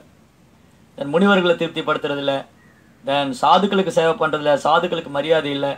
அப்கோர்ஸ் இன்னொரு பக்கம் சாதுக்கள் வந்து ஏமாற்றக்கூடியவங்களும் இருக்காங்க. அதனால் கொஞ்சம் கொஞ்சமாக நமக்கு நம்பிக்கை இழந்துட்டுருக்கு உண்மையான சாதுக்கள் இருக்காங்க. சாஸ்திர விதிகளை பின்பற்றக்கூடியவங்க சம்பிரதாயத்தில் குரு பரம்பரையில் வரக்கூடிய சாதுக்கள் இருக்காங்க. ஸோ அவங்களுடைய சேவையில் நம்ம ஈடுபடணும். தேவர்களுக்கு கைங்கரியம் பண்ணணும். சாதுக்களுக்கு கைங்கரியம் பண்ணணும். முன்னோருக்கு உண்டான அந்த சடங்குகளை பண்ணணும். இதெல்லாம் சாதாரண ஜனங்க பண்ணணும். ஆனால் பக்தி பாதனுடைய மகத்துவம் என்னென்னா அந்த புத்தி யோகம் கிருஷ்ண உணர்வு. இந்த கிருஷ்ண பக்தி அல்லது பக்தி யோகம் அல்லது புக்தி யோகத்தில் வந்து என்ன ஒரு சிறப்புன்னா இதெல்லாம் ஆட்டோமேட்டிக்காக இன்க்ளூடிங் ஆயிடும் அதில் உள்ள அடங்கிடும். தேவரிசியில் போதாப்தி நாம பித்திருங்கன்னா நக்கிங்கரோ நாயம் ரிணீச்சராஜன் ஏ நிதிராஜா யார் ஒருத்தர் வந்து பகவான் அச்சுதன் கிருஷ்ணருடைய தாமரை பாதங்களை போடம் கொள்கிறாங்களோ யார் தன்னுடைய வாழ்க்கையை கிருஷ்ணருடைய சேவைக்காக அர்ப்பணிக்கிறாங்களோ? சர்வாகரணம் அச்சுதேச்சியக தேவரிஷீர் போதா நினாமை பத்திரங்க நகிங் கரோ நாயம் ரிணீச் சர்வாசுரம் சரணம் கரன் கதோ முகுந்தம். முகுந்தம் பரிகவிகத் முகுந்தன். கிருஷ்ணாவுடைய சேவை. கிருஷ்ணாவுடைய சேவைக்காக தன்னுடைய வாழ்க்கையை அர்ப்பணிச்சிட்டோம் அப்படின்னா நம்முடைய வாழ்க்கையை வந்து அந்த மாதிரி வடிவமைச்சுட்டா கிருஷ்ணர் கிருஷ்ணனுடைய திருப்திக்காக கிருஷ்ணனுடைய சேவையில் ஈடுபட்டு நம்முடைய வாழ்க்கையில் அவருடைய ஒவ்வொரு சின்ன சின்ன விஷயங்களையும் பகவானுடைய பகவான் மேலே அன்பு பண்ணி பகவானுக்காக செயலாற்ற ஆரம்பிச்சிட்டோன்னா இந்த கடன்கள்லாம் தானாகவே செலுத்தப்பட்டுரும். தனி தனிப்பட்ட விதத்தில் பண்ண வேண்டியதில்லை. பித்திரர்களுக்கு தனியாக பண்ண வேண்டியதில்லை பூதகணங்களுக்கு தனியாக பண்ண வேண்டியதில்லை மற்ற உயிர்வாளிகளுக்கு செய்ய வேண்டியதில்லை தேவர்கள் ரிஷிகள் முனிவர்கள் எல்லாருமே திருப்தி அடைஞ்சிருவாங்க. எப்படி ஒரு மரத்துக்கு வேருக்கு நீர் ஊட்டுறது மூலமாகவும் ஒரு வயிற்றுக்கு உணவு அளிக்கிறது மூலமாக உடல் உள்ள எல்லா பாகங்களும் வயிற்றுக்கு உணவு உணவு அளிக்கிறது தான் உடல் உள்ள எல்லா பாகமும் திருப்தி அடையுது. மரத்தில் வேருக்கு நீர் ஊற்றும் போது அந்த இலை கிளை பூ பழங்கள்லாம் நல்லா செழிப்பாக வளருது. அதுபோல கிருஷ்ணா முகுந்தன் முக்தி அளிக்கக்கூடிய அந்த முகுந்தனுடைய தாமரை பாதங்களை புகழிடம் கொண்டுட்டோம்னா அவர் இல்லற வாழ்க்கையில் இருக்கிறவருடைய கிரகஸ்தர்கள் தன்னுடைய வாழ்க்கையில் கிருஷ்ணரை நடுமையாக வச்சுட்டு கிருஷ்ணனுடைய சேவையில் ஈடுபடுறாங்க. தினமும் நாமும் ஜபிக்கிறாங்க. ஹரே கிருஷ்ணா ஹரே கிருஷ்ணா கிருஷ்ண கிருஷ்ண ஹரே ஹரே ஹரே ராம ஹரே ராம ராம ராம ஹரே ஹரே அப்படி நாமும் ஜபிக்கிறாங்க. பகவானுடைய சேவையில் ஈடுபடுறாங்க. தனக்கு வரக்கூடிய வருமானத்தை வந்து பக்தி பாதையில் சேவை பண்ணக்கூடிய பக்தர்களுக்காக இந்த தான தர்மம் பண்ணுறாங்க இப்படி பக்தி யோகத்தோட செயல் புத்தி யோகத்தில் செயல்படும்போது அவங்க வந்து இதை இந்த சமய சடங்குகள் இந்த இந்த உலக விஷயங்கள் சமய சடங்குகள்லாம் கடந்து விடுறாங்க இப்போ தினமும் வீட்டில் வந்து நாம யஜ்யம் ஜப யஜ்யம் பண்ணி ஹரே கிருஷ்ணா மந்திரம் ஜபம் பண்ணிட்டு பகவானுக்கு பிரசாதம் தான் என்ன பண்ணுறோமோ அன்போடு பகவானுக்கு படைக்கும் போது தானியங்கள் காய்கறிகள் பால் பழம்லாம் வாங்கி அதை வந்து பகவானுக்கு அர்ப்பணம் பிரசாதம். இப்படி வீட்டில் பகவானுக்கு பிரசாதம் அர்ப்பணிக்கிறது. தினமும் பகவானுக்கு போகா கொடுத்து அந்த பிரசாத் மகா பிரசாதத்தை உட்கொள்றது அந்த பிரசாதத்தை விநியோகம் பண்ணுறது இது மூலமாக அவங்க எண்ணற்ற மூதாதைகளை விடுவிக்க முடியும்னு ஆச்சாரியர் சொல்கிறார் பிரபுபாத். யார் ஒருத்தர் வந்து பகவான் கிருஷ்ணர் முகுந்தனுடைய தாமரை பாதங்களை புகழிடம் கொண்டு அவருக்கு சேவை பண்ணுறாங்களோ தங்களுடைய வீட்டில் இதில் வந்து சன்னியாசிகள் சன்னியாசிகள் பிரம்மச்சாரிகள் வந்து ஆசிரமத்தில் கோயிலில் இருக்கிறதுனால அவங்க இந்த ஜட உலக சட்டத்திட்டத்துக்கெல்லாம் கடந்துடுறாங்க ஏற்கனவே. ஒரு சன்னியாசி இந்த சட்டத்திட்டங்கள்லாம் பொருந்தாது. ஒரு பிரம்மச்சாரி தன்னுடைய வாழ்க்கையை குருவோடைய சேவைக்கு அர்ப்பணிக்கிறதுனால அவர் வந்து இந்த இல்லற உலக வாழ்க்கையில் ஒரு சட்டத்திட்டங்களாக அவருக்கு அவங்களுக்கு பொருந்தாது. ஆனால் இல்லற வாழ்க்கையுடைய கிரகஸ்தர்கள் வந்து அவங்க இல்லற வாழ்க்கையில் ஈடுபடுறதுனால பொருள் ஈட்டுறதுனால கர்மங்களை செய்கிறதுனால அதை வந்து பக்தி யோகமாக அல்லது புத்தி யோகமாக செய்யணும். அப்போ அவங்க வீட்டில் கிருஷ்ணரை மையமாக வச்சுட்டு தான் செய்யக்கூடிய செயலெல்லாம் கிருஷ்ணரையே சார்ந்து பண்ணால் அவங்க வீட்டில் பகவானுக்கு ஆரத்தி காமிக்கிறது பகவானுடைய நாம சங்கீர்த்தனை பண்ணுறது ஹரே கிருஷ்ணா ஹரே கிருஷ்ணா கிருஷ்ண கிருஷ்ண ஹரே ஹரே. ஹரே ராம ஹரே ராம ராம ராம ஹரே ஹரே. பாகவதம் வாசிக்கிறது பாகவதம் கேட்கறது வைஷ்ணவருக்கு சேவை பண்ணுறது தென் இந்த மாதிரி பகவானுக்கு உணவு தயார் பண்ணி போகா தயார் பண்ணி அது கிருஷ்ணருக்கு படைத்து அந்த மகா பிரசாதத்தை வந்து உட்கொள்றது அந்த மகா பிரசாதத்தை விநியோகம் பண்ணுறது இப்படி ஒரு வைஷ்ணவராக இருக்கும்போது ஒருத்தர் கிருஷ்ண பக்தராக ஆகிறாரு கிருஷ்ண பக்தியில் தன்னை வந்து ரொம்ப ஆர்வமாக ரொம்ப அன்போட பகவானுடைய சேவையில் ஈடுபடுறாரு அப்படின்னா அவர் வந்து எண்ணற்ற மூதாதிரிகளை விடுவிக்க முடியுங்கிறார் பிரபுபாத். எண்ணற்ற மூதாதிரிகளை அதனால தான் பிரகலாதர்கிட்ட நரசிம்மர் சொன்னார் பிரகலாத் மகாராஜ் பிரகலாத் மகாராஜா நரசிம்மர்கிட்ட என்ன பிரார்த்தனை பண்ணார்? நரசிம்மர் பிரகலாதர் என்ன கேட்டாலும் வரம் கொடுக்க தயாராக இருக்கார். பிரகலாதா உனக்கு என்ன வேணும் கேள்வி நீ என்ன கேட்டாலும் நான் கொடுக்குறேன். ஏன்னா அந்த குழந்தை பிரகலாதன் வந்து பகவான் மேல உள்ள அன்புனால தான் அவ்வளோ கஷ்டங்களையும் அவ்வளோ கஷ்டங்கள் அசௌகரியங்கள் கொடுமைகள்லாம் பொறுத்துட்டார் ஆனால் அவர் அது பாதிப்படையவில்லை. ஏன்னா ஒரு தன்னை உணர்ந்த ஆத்மா இருந்தார். பிரகலாத் மகாராஜா வந்து ஒரு தன்னை உணர்ந்த ஆத்மா ஒரு தூய்மையான பக்தர். அவர் இந்த ஜட உலக கஷ்டங்களை அவர் பாதிக்கவே இல்லை. அப்போ பகவான் வந்து தனக்காக எவ்வளோ கஷ்டங்களை பொறுத்துக்கிட்டார் இந்த குழந்தை அதுக்காக வந்து பகவான் விட்டு சொல்கிற நீ என்ன வேணாலும் கேளு பிரகலாத தரேன். பிரகலாத என்ன கேட்டார்? பகவான் இது என்ன வியாபாரம் ஆயிடுமே? நான் உங்ககிட்ட எதாவது கேட்டால் எனக்கு எதுவுமே வேணாம். ஸோ இங்கே பக்தன் வேணாங்கிற பகவான் கேளு கேளு தரேங்கிறார். இல்லையா? நம்மள என்ன பண்ணுறோம் நம்ம போய் பகவான்கிட்ட ஏதாவது கேட்டு இருக்கு பகவான் கொடுக்க மாட்டார். ஏன்னா தெரியும் நம்ம வந்து பிரகலாத மாதிரி பக்தனுக்கு கிடையாது கொடுத்தா போயிடுவான் ரைட் அதனால் பக்தனுக்கு என்ன தேவையோ அதை கொடுத்து அவன்கிட்ட உள்ளதையும் காத்து நானே அல்பாளிப்பேங்கிறார் கிருஷ்ணா. ரைட் தென் பிரலாதர் இது இந்த ஒரு வாரம் மட்டும் கொடுங்க. என் அப்பா ஒரு அசூரனாக இருந்தார் இல்லையா அவருக்கு மோட்சம் கொடுங்க.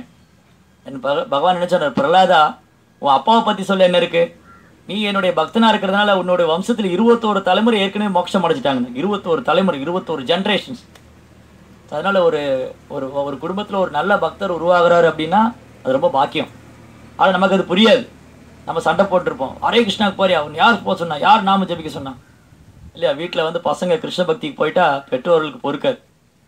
ஏன்னா அவன் கிருஷ்ண பக்தி போயிட்டா ரொம்ப தீவிரமாக செயல்பட ஆரம்பி இஸ்கானில் வந்து ஹரே கிருஷ்ணா ஹரே கிருஷ்ணா கிருஷ்ண கிருஷ்ணா ஹரே ஹரே ஹரே ராம ஹரே ராம ராம ராம ஹரே ஹரே. நாம ஜபிக்கிறாருன்னா ரொம்ப பாக்கியம். அந்த குடும்பத்தில் உள்ள பெற்றோர்கள் மூதாதைகள் எல்லாருக்கும் ரொம்ப பாக்கியம்.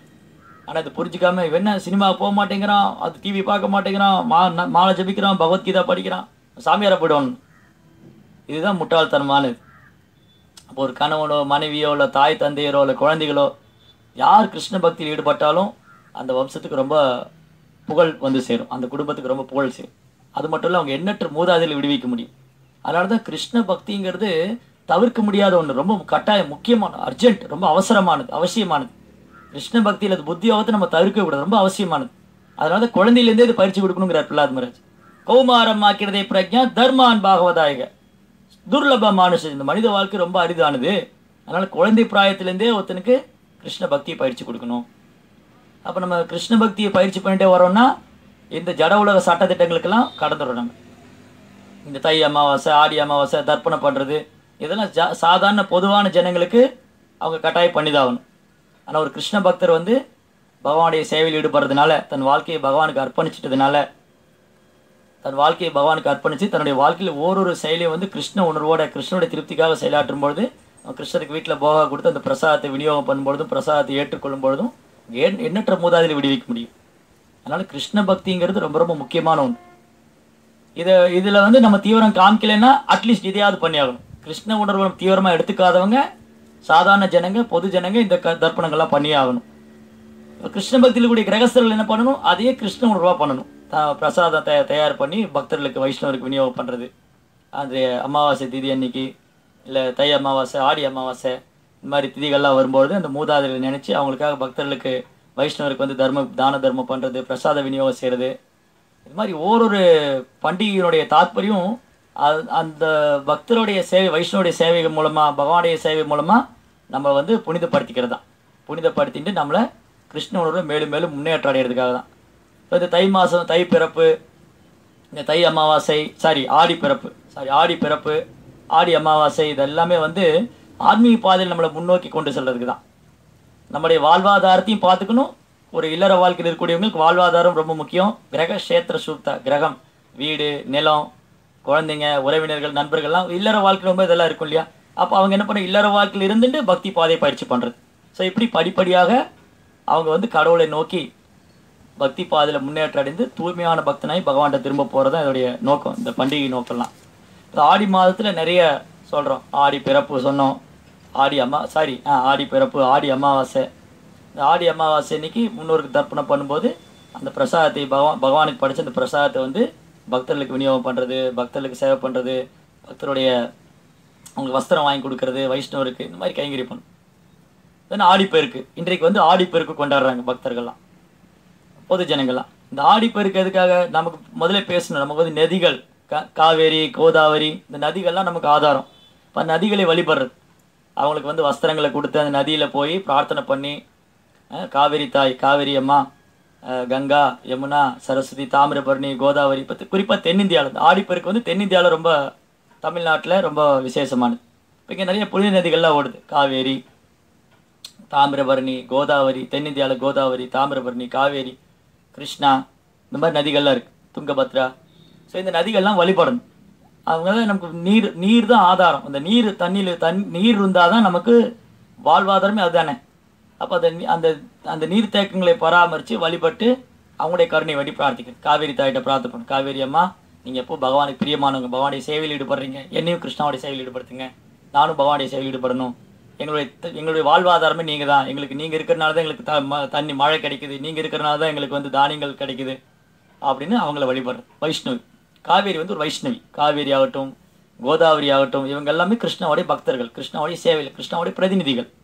அப்போ வைஷ்ணவரை வழிபடுறது பக்தர்களை வழிபடுறது பகவானை வழிபடுறது இதெல்லாமே இந்த மாதத்தில் ரொம்ப உசித்தமாக ரொம்ப சிறப்பு வாய்ந்தது. இவங்க வந்து ஆடி போயிருக்க அன்னைக்கு போய் அவங்க வந்து வழிபடுறாங்க. ஆடி பெருக்கில் பதினெட்டாம் பெருக்குன்னு சொல்லுவாங்க. பதினெட்டு நாள் ஆடி மாதம் தொடங்கி பதினெட்டாவது நாள் வந்து இது ரொம்ப விசேஷமாக கொண்டாடுவாங்க. ஏன்னா இந்த கங்கை காவேரி இந்த நதிகள்லாம் இருக்க போய் தான் நமக்கு மழை கிடைக்குது. இந்த நதிகள்லாம் இருக்க போய் தான் நமக்கு தானியங்கள் கிடைக்குது.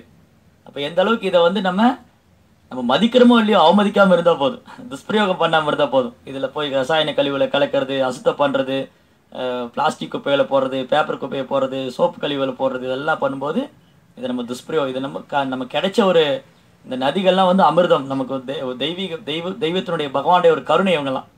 இவங்களை நம்ம அவமதிக்கும் பொழுது துஷ்பிரயோகம் பண்ணும்போதும் படிப்படியாக அவங்க நம்மளை விட்டு விலகி போயிட்டே இருப்பாங்க. இப்போ ஏறக்குறைய விலகி போயிட்டாங்க. இப்போ காவேரியில் தண்ணி இல்லை. எப்பயாவது அவங்க கர்நாடகாவில் மழை பெஞ்சு வெள்ளப்பெருக்கானதும் இங்கே தண்ணி திறந்து விடுவோம். ஸோ இப்படி ஆயிடுச்சு இல்லையா? இப்போ நம்ம இருக்கிற நீர்த்தேக்கங்களையும் பராமரிக்கிறது இல்லை குளங்களை பராமரிக்கிறது இல்லை ஏரியை பராமரிக்கிறது இல்லை. இப்போ இந்த ஆடி அன்றைக்கி அன்னைக்கு என்ன பண்ணாங்க முன்னோர்கள்லாம்? இதெல்லாம் பண்ணாங்க. காரணம் இதெல்லாம் பராமரிக்கிறது இதுதான் வாழ்வாதாரம் தெரிஞ்சுது முன்னோர்கள். அதனால தான் முன்னோர்கள் ஏரி குளம் கிணறுலாம் வெட்டினாங்க. கிணறு வெட்டினாங்க ஏரி வெட்டினாங்க குளம் வெட்டினாங்க நதிகளை பராமரித்தாங்க ஆறுகளை பராமரித்தாங்க இதுதான் நமக்கு வாழ்வாதாரம். அதை வந்து தேவதையாக பகவானுடைய பிரதிநிதியாக பகவானுடைய அம்சமாக வழிபட்டாங்க. இப்போ வந்து எல்லாத்தையும் நம்ம இருக்கிறத பராமரித்தாலே போதும். அது ஆனால் நமக்கு எடுத்து நாசமாக்கின்ற அதனால் இதெல்லாம் ரொம்ப முக்கியம். இதெல்லாம் வந்து ரொம்ப ரொம்ப முக்கியம். நமக்கு வாழ்வாதாரமே இதுதான். இவங்கெல்லாம் இருந்தால் தான் நிலத்துல நீர் இருக்கும். இப்போ வந்து தண்ணி இல்லை ஆற்றுல தண்ணி இல்லை ஏரியில் தண்ணி இல்லைன்னு சொல்லி நிலத்துல இருக்கிற தண்ணி மேலே மேலே எடுக்கிறோம் வெளியிலேருந்து எடுக்கிறோம். நிலத்தடி நீரை வெளியில் எடுக்கிறோம். அப்போ நிலத்துலேருந்து தண்ணி எடுக்க எப்படி வரும்? மழை பெஞ்சாதான் நிலத்துலேயே தண்ணி தேங்கி நிற்கும் இப்போ மழை வேணுமே. இப்போ மழைக்கு வேண்டி பிரார்த்தனை பண்ணும் ஆடி பெருக்கு அன்னைக்கு இந்திரன் மழை தேவன் இந்திரன். இந்திரன் வந்து கிருஷ்ணாவுடைய பிரதிநிதி. அப்போ பகவானை சந்தோஷப்படுத்தினாலே எல்லாரும் திருப்தி ஆயிரும்னு பார்த்தோம். அப்போ இந்த நாம சங்கீர்த்தனம். ஹரே கிருஷ்ணா ஹரே கிருஷ்ணா கிருஷ்ண கிருஷ்ண ஹரே ஹரே. ஹரே ராம ஹரே ராம ராம ராம ஹரே ஹரே இந்த நாம சங்கீர்த்தனம் தவிர்க்க முடியாத ஒன்று. கலியுகத்தில் வந்து இதுதான் யுக தர்மம். இந்த நாம சங்கீர்த்தனம் ஹரிநாம ஜெபம் வந்து குறைந்தபட்சம் நம்ம வாழ்வாதாரத்துக்கு வேண்டி பண்ணிதான் ஆகணும் மழைக்கு வேண்டி நீர்கள் நில நீர்களை பராமரிக்கணும் தானியங்கள் நல்ல சுபிக்ஷமான வாழ்க்கை. இந்த உலகத்தில் நல்ல சுபிக்ஷமாக வாழணும் நல்ல செழுமையாக பசுமையாக வாழணும்னா அதுக்கு வேண்டியாவது நம்ம இந்த நாம சங்கீர்த்தனம் நாம ஜபம் பண்ணியாகணும். இது வந்து தவிர்க்க தவிர்க்க முடியாத ஒன்று. கட்டாயம். ரொம்ப ரொம்ப அவசர காலமாக அவசரமாக இது பண்ணி தான் ஆகணும் இப்போ இருக்கிற சூழ்நிலையில். அதனால் பக்தர்கள் அதனால தான் பிரச்சாரம் பண்ணுறாங்க பிரபுபாதர் வந்து ஓரொரு கிராமத்திலையும் நகரத்திலையும் சைதன் மாப்புடைய போதனைப்படி சைதன் மாப்பு ஓரொரு கிராமத்திலும் நகரத்திலும் என்னுடைய நாமம் ஜபிக்கப்படும். பிரபுபாதர் உலகம் முழுவதும் பிரயாணம் பண்ணி இந்த கிருஷ்ண பக்தியை பிரச்சாரம் பண்ணார். அமெரிக்கா ரஷ்யா ஜெர்மன் போன்ற மேற்கத்திய நாடுகள்லாம் எல்லாம் கிருஷ்ண பக்தி தீவிரமாக இருந்துட்டு அவங்க புத்தியோகத்தை ஃபாலோ பண்ணுறாங்க ரொம்ப இன்டெலிஜென்ட் பர்சன் ஆகிட்டேன் ஹரே கிருஷ்ணா ஹரே கிருஷ்ணா கிருஷ்ண கிருஷ்ண ஹரே ஹரே.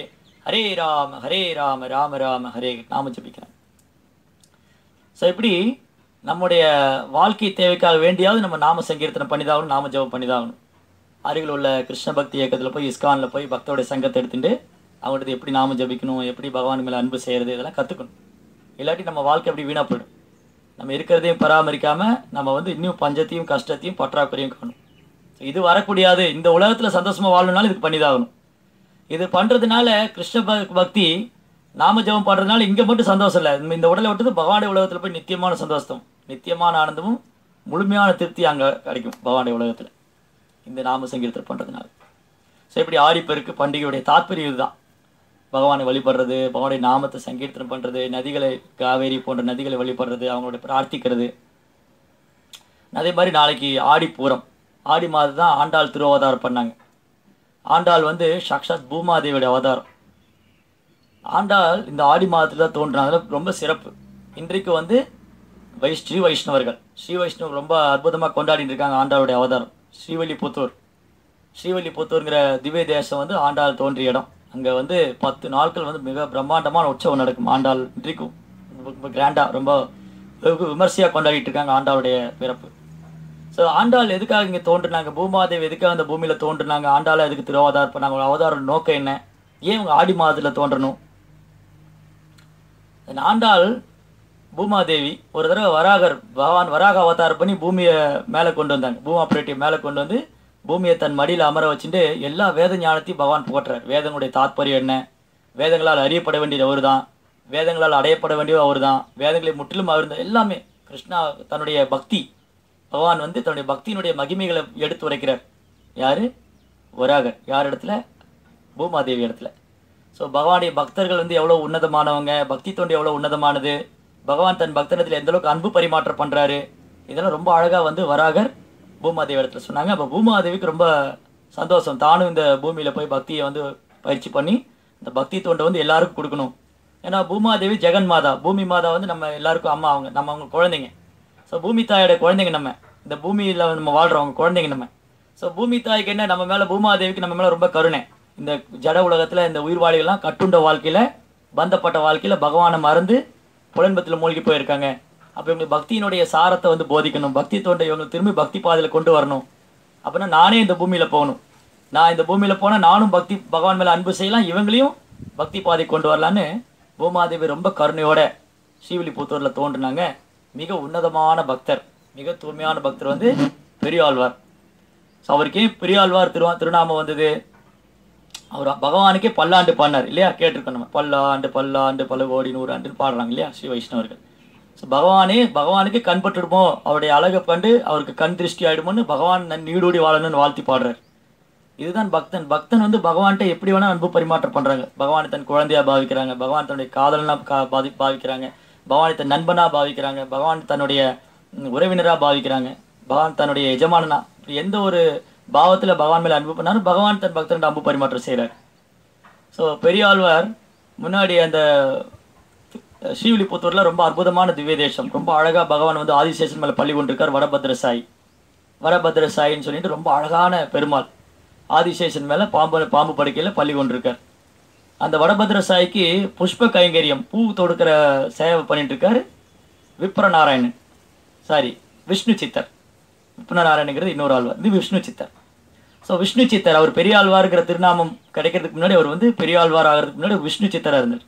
விஷ்ணு சித்தர் ஒரு தூய்மையான பக்தர். கள்ளம் கவடம் இல்லாமல் ரொம்ப எளிமையான பணிவான அன்பான தன் கரங்களால் மாலைகளை தொடுத்து பகவானுக்கு சாத்துறார். தினமும் துளசி மாலை மலர்களை வண்ண வண்ண மலர்களை தொடுத்து அழகான ஒரு நந்தவனம் அமைச்சு அழகான ஒரு நந்தவனம். இப்போ போனாலும் அந்த நந்தவனம் பார்க்கலாம். ஸ்ரீவில்லிபுத்தூர் கோயிலில் பெரியாழ்வார் வச்சுருந்த நந்தவனம் இப்பயும் இருக்குது அந்த நந்தவனத்தில் தோட்டத்துலேருந்து ந- மலர்களை சேகரித்து துளசிலாம் சேகரித்து பெருமாளுக்கு மாலை கொடுத்து ரொம்ப சந்தோஷமாக முழு திருப்தியோட முழு ஆனந்தத்தோட பவானி சேவையில் ஈடுபட்டுருக்கார் இருக்கார் விஷ்ணு சித்தர்.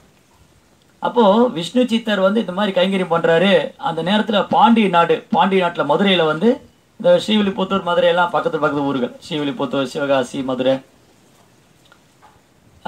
மதுரையில் வந்து பாண்டிய மன்னர் ஒரு நாள் அப்படியே நகர்வலம் வரார் பிரஜைகள்லாம் என்ன பண்ணுறாங்க நாட்டில் வந்து திருட்டு போய் திருட்டெல்லாம் இருக்கா? இல்லை என்ன பேசிக்கிற தன்னுடைய ஆட்சியை பற்றி என்ன பேசிக்கிறாங்க? ஸோ வேத காலத்தில் என்ன பண்ணுவாங்க? பிர- மன்னர்கள்லாம் மாறு வேடத்தில் நகர்வலம் வருவாங்க.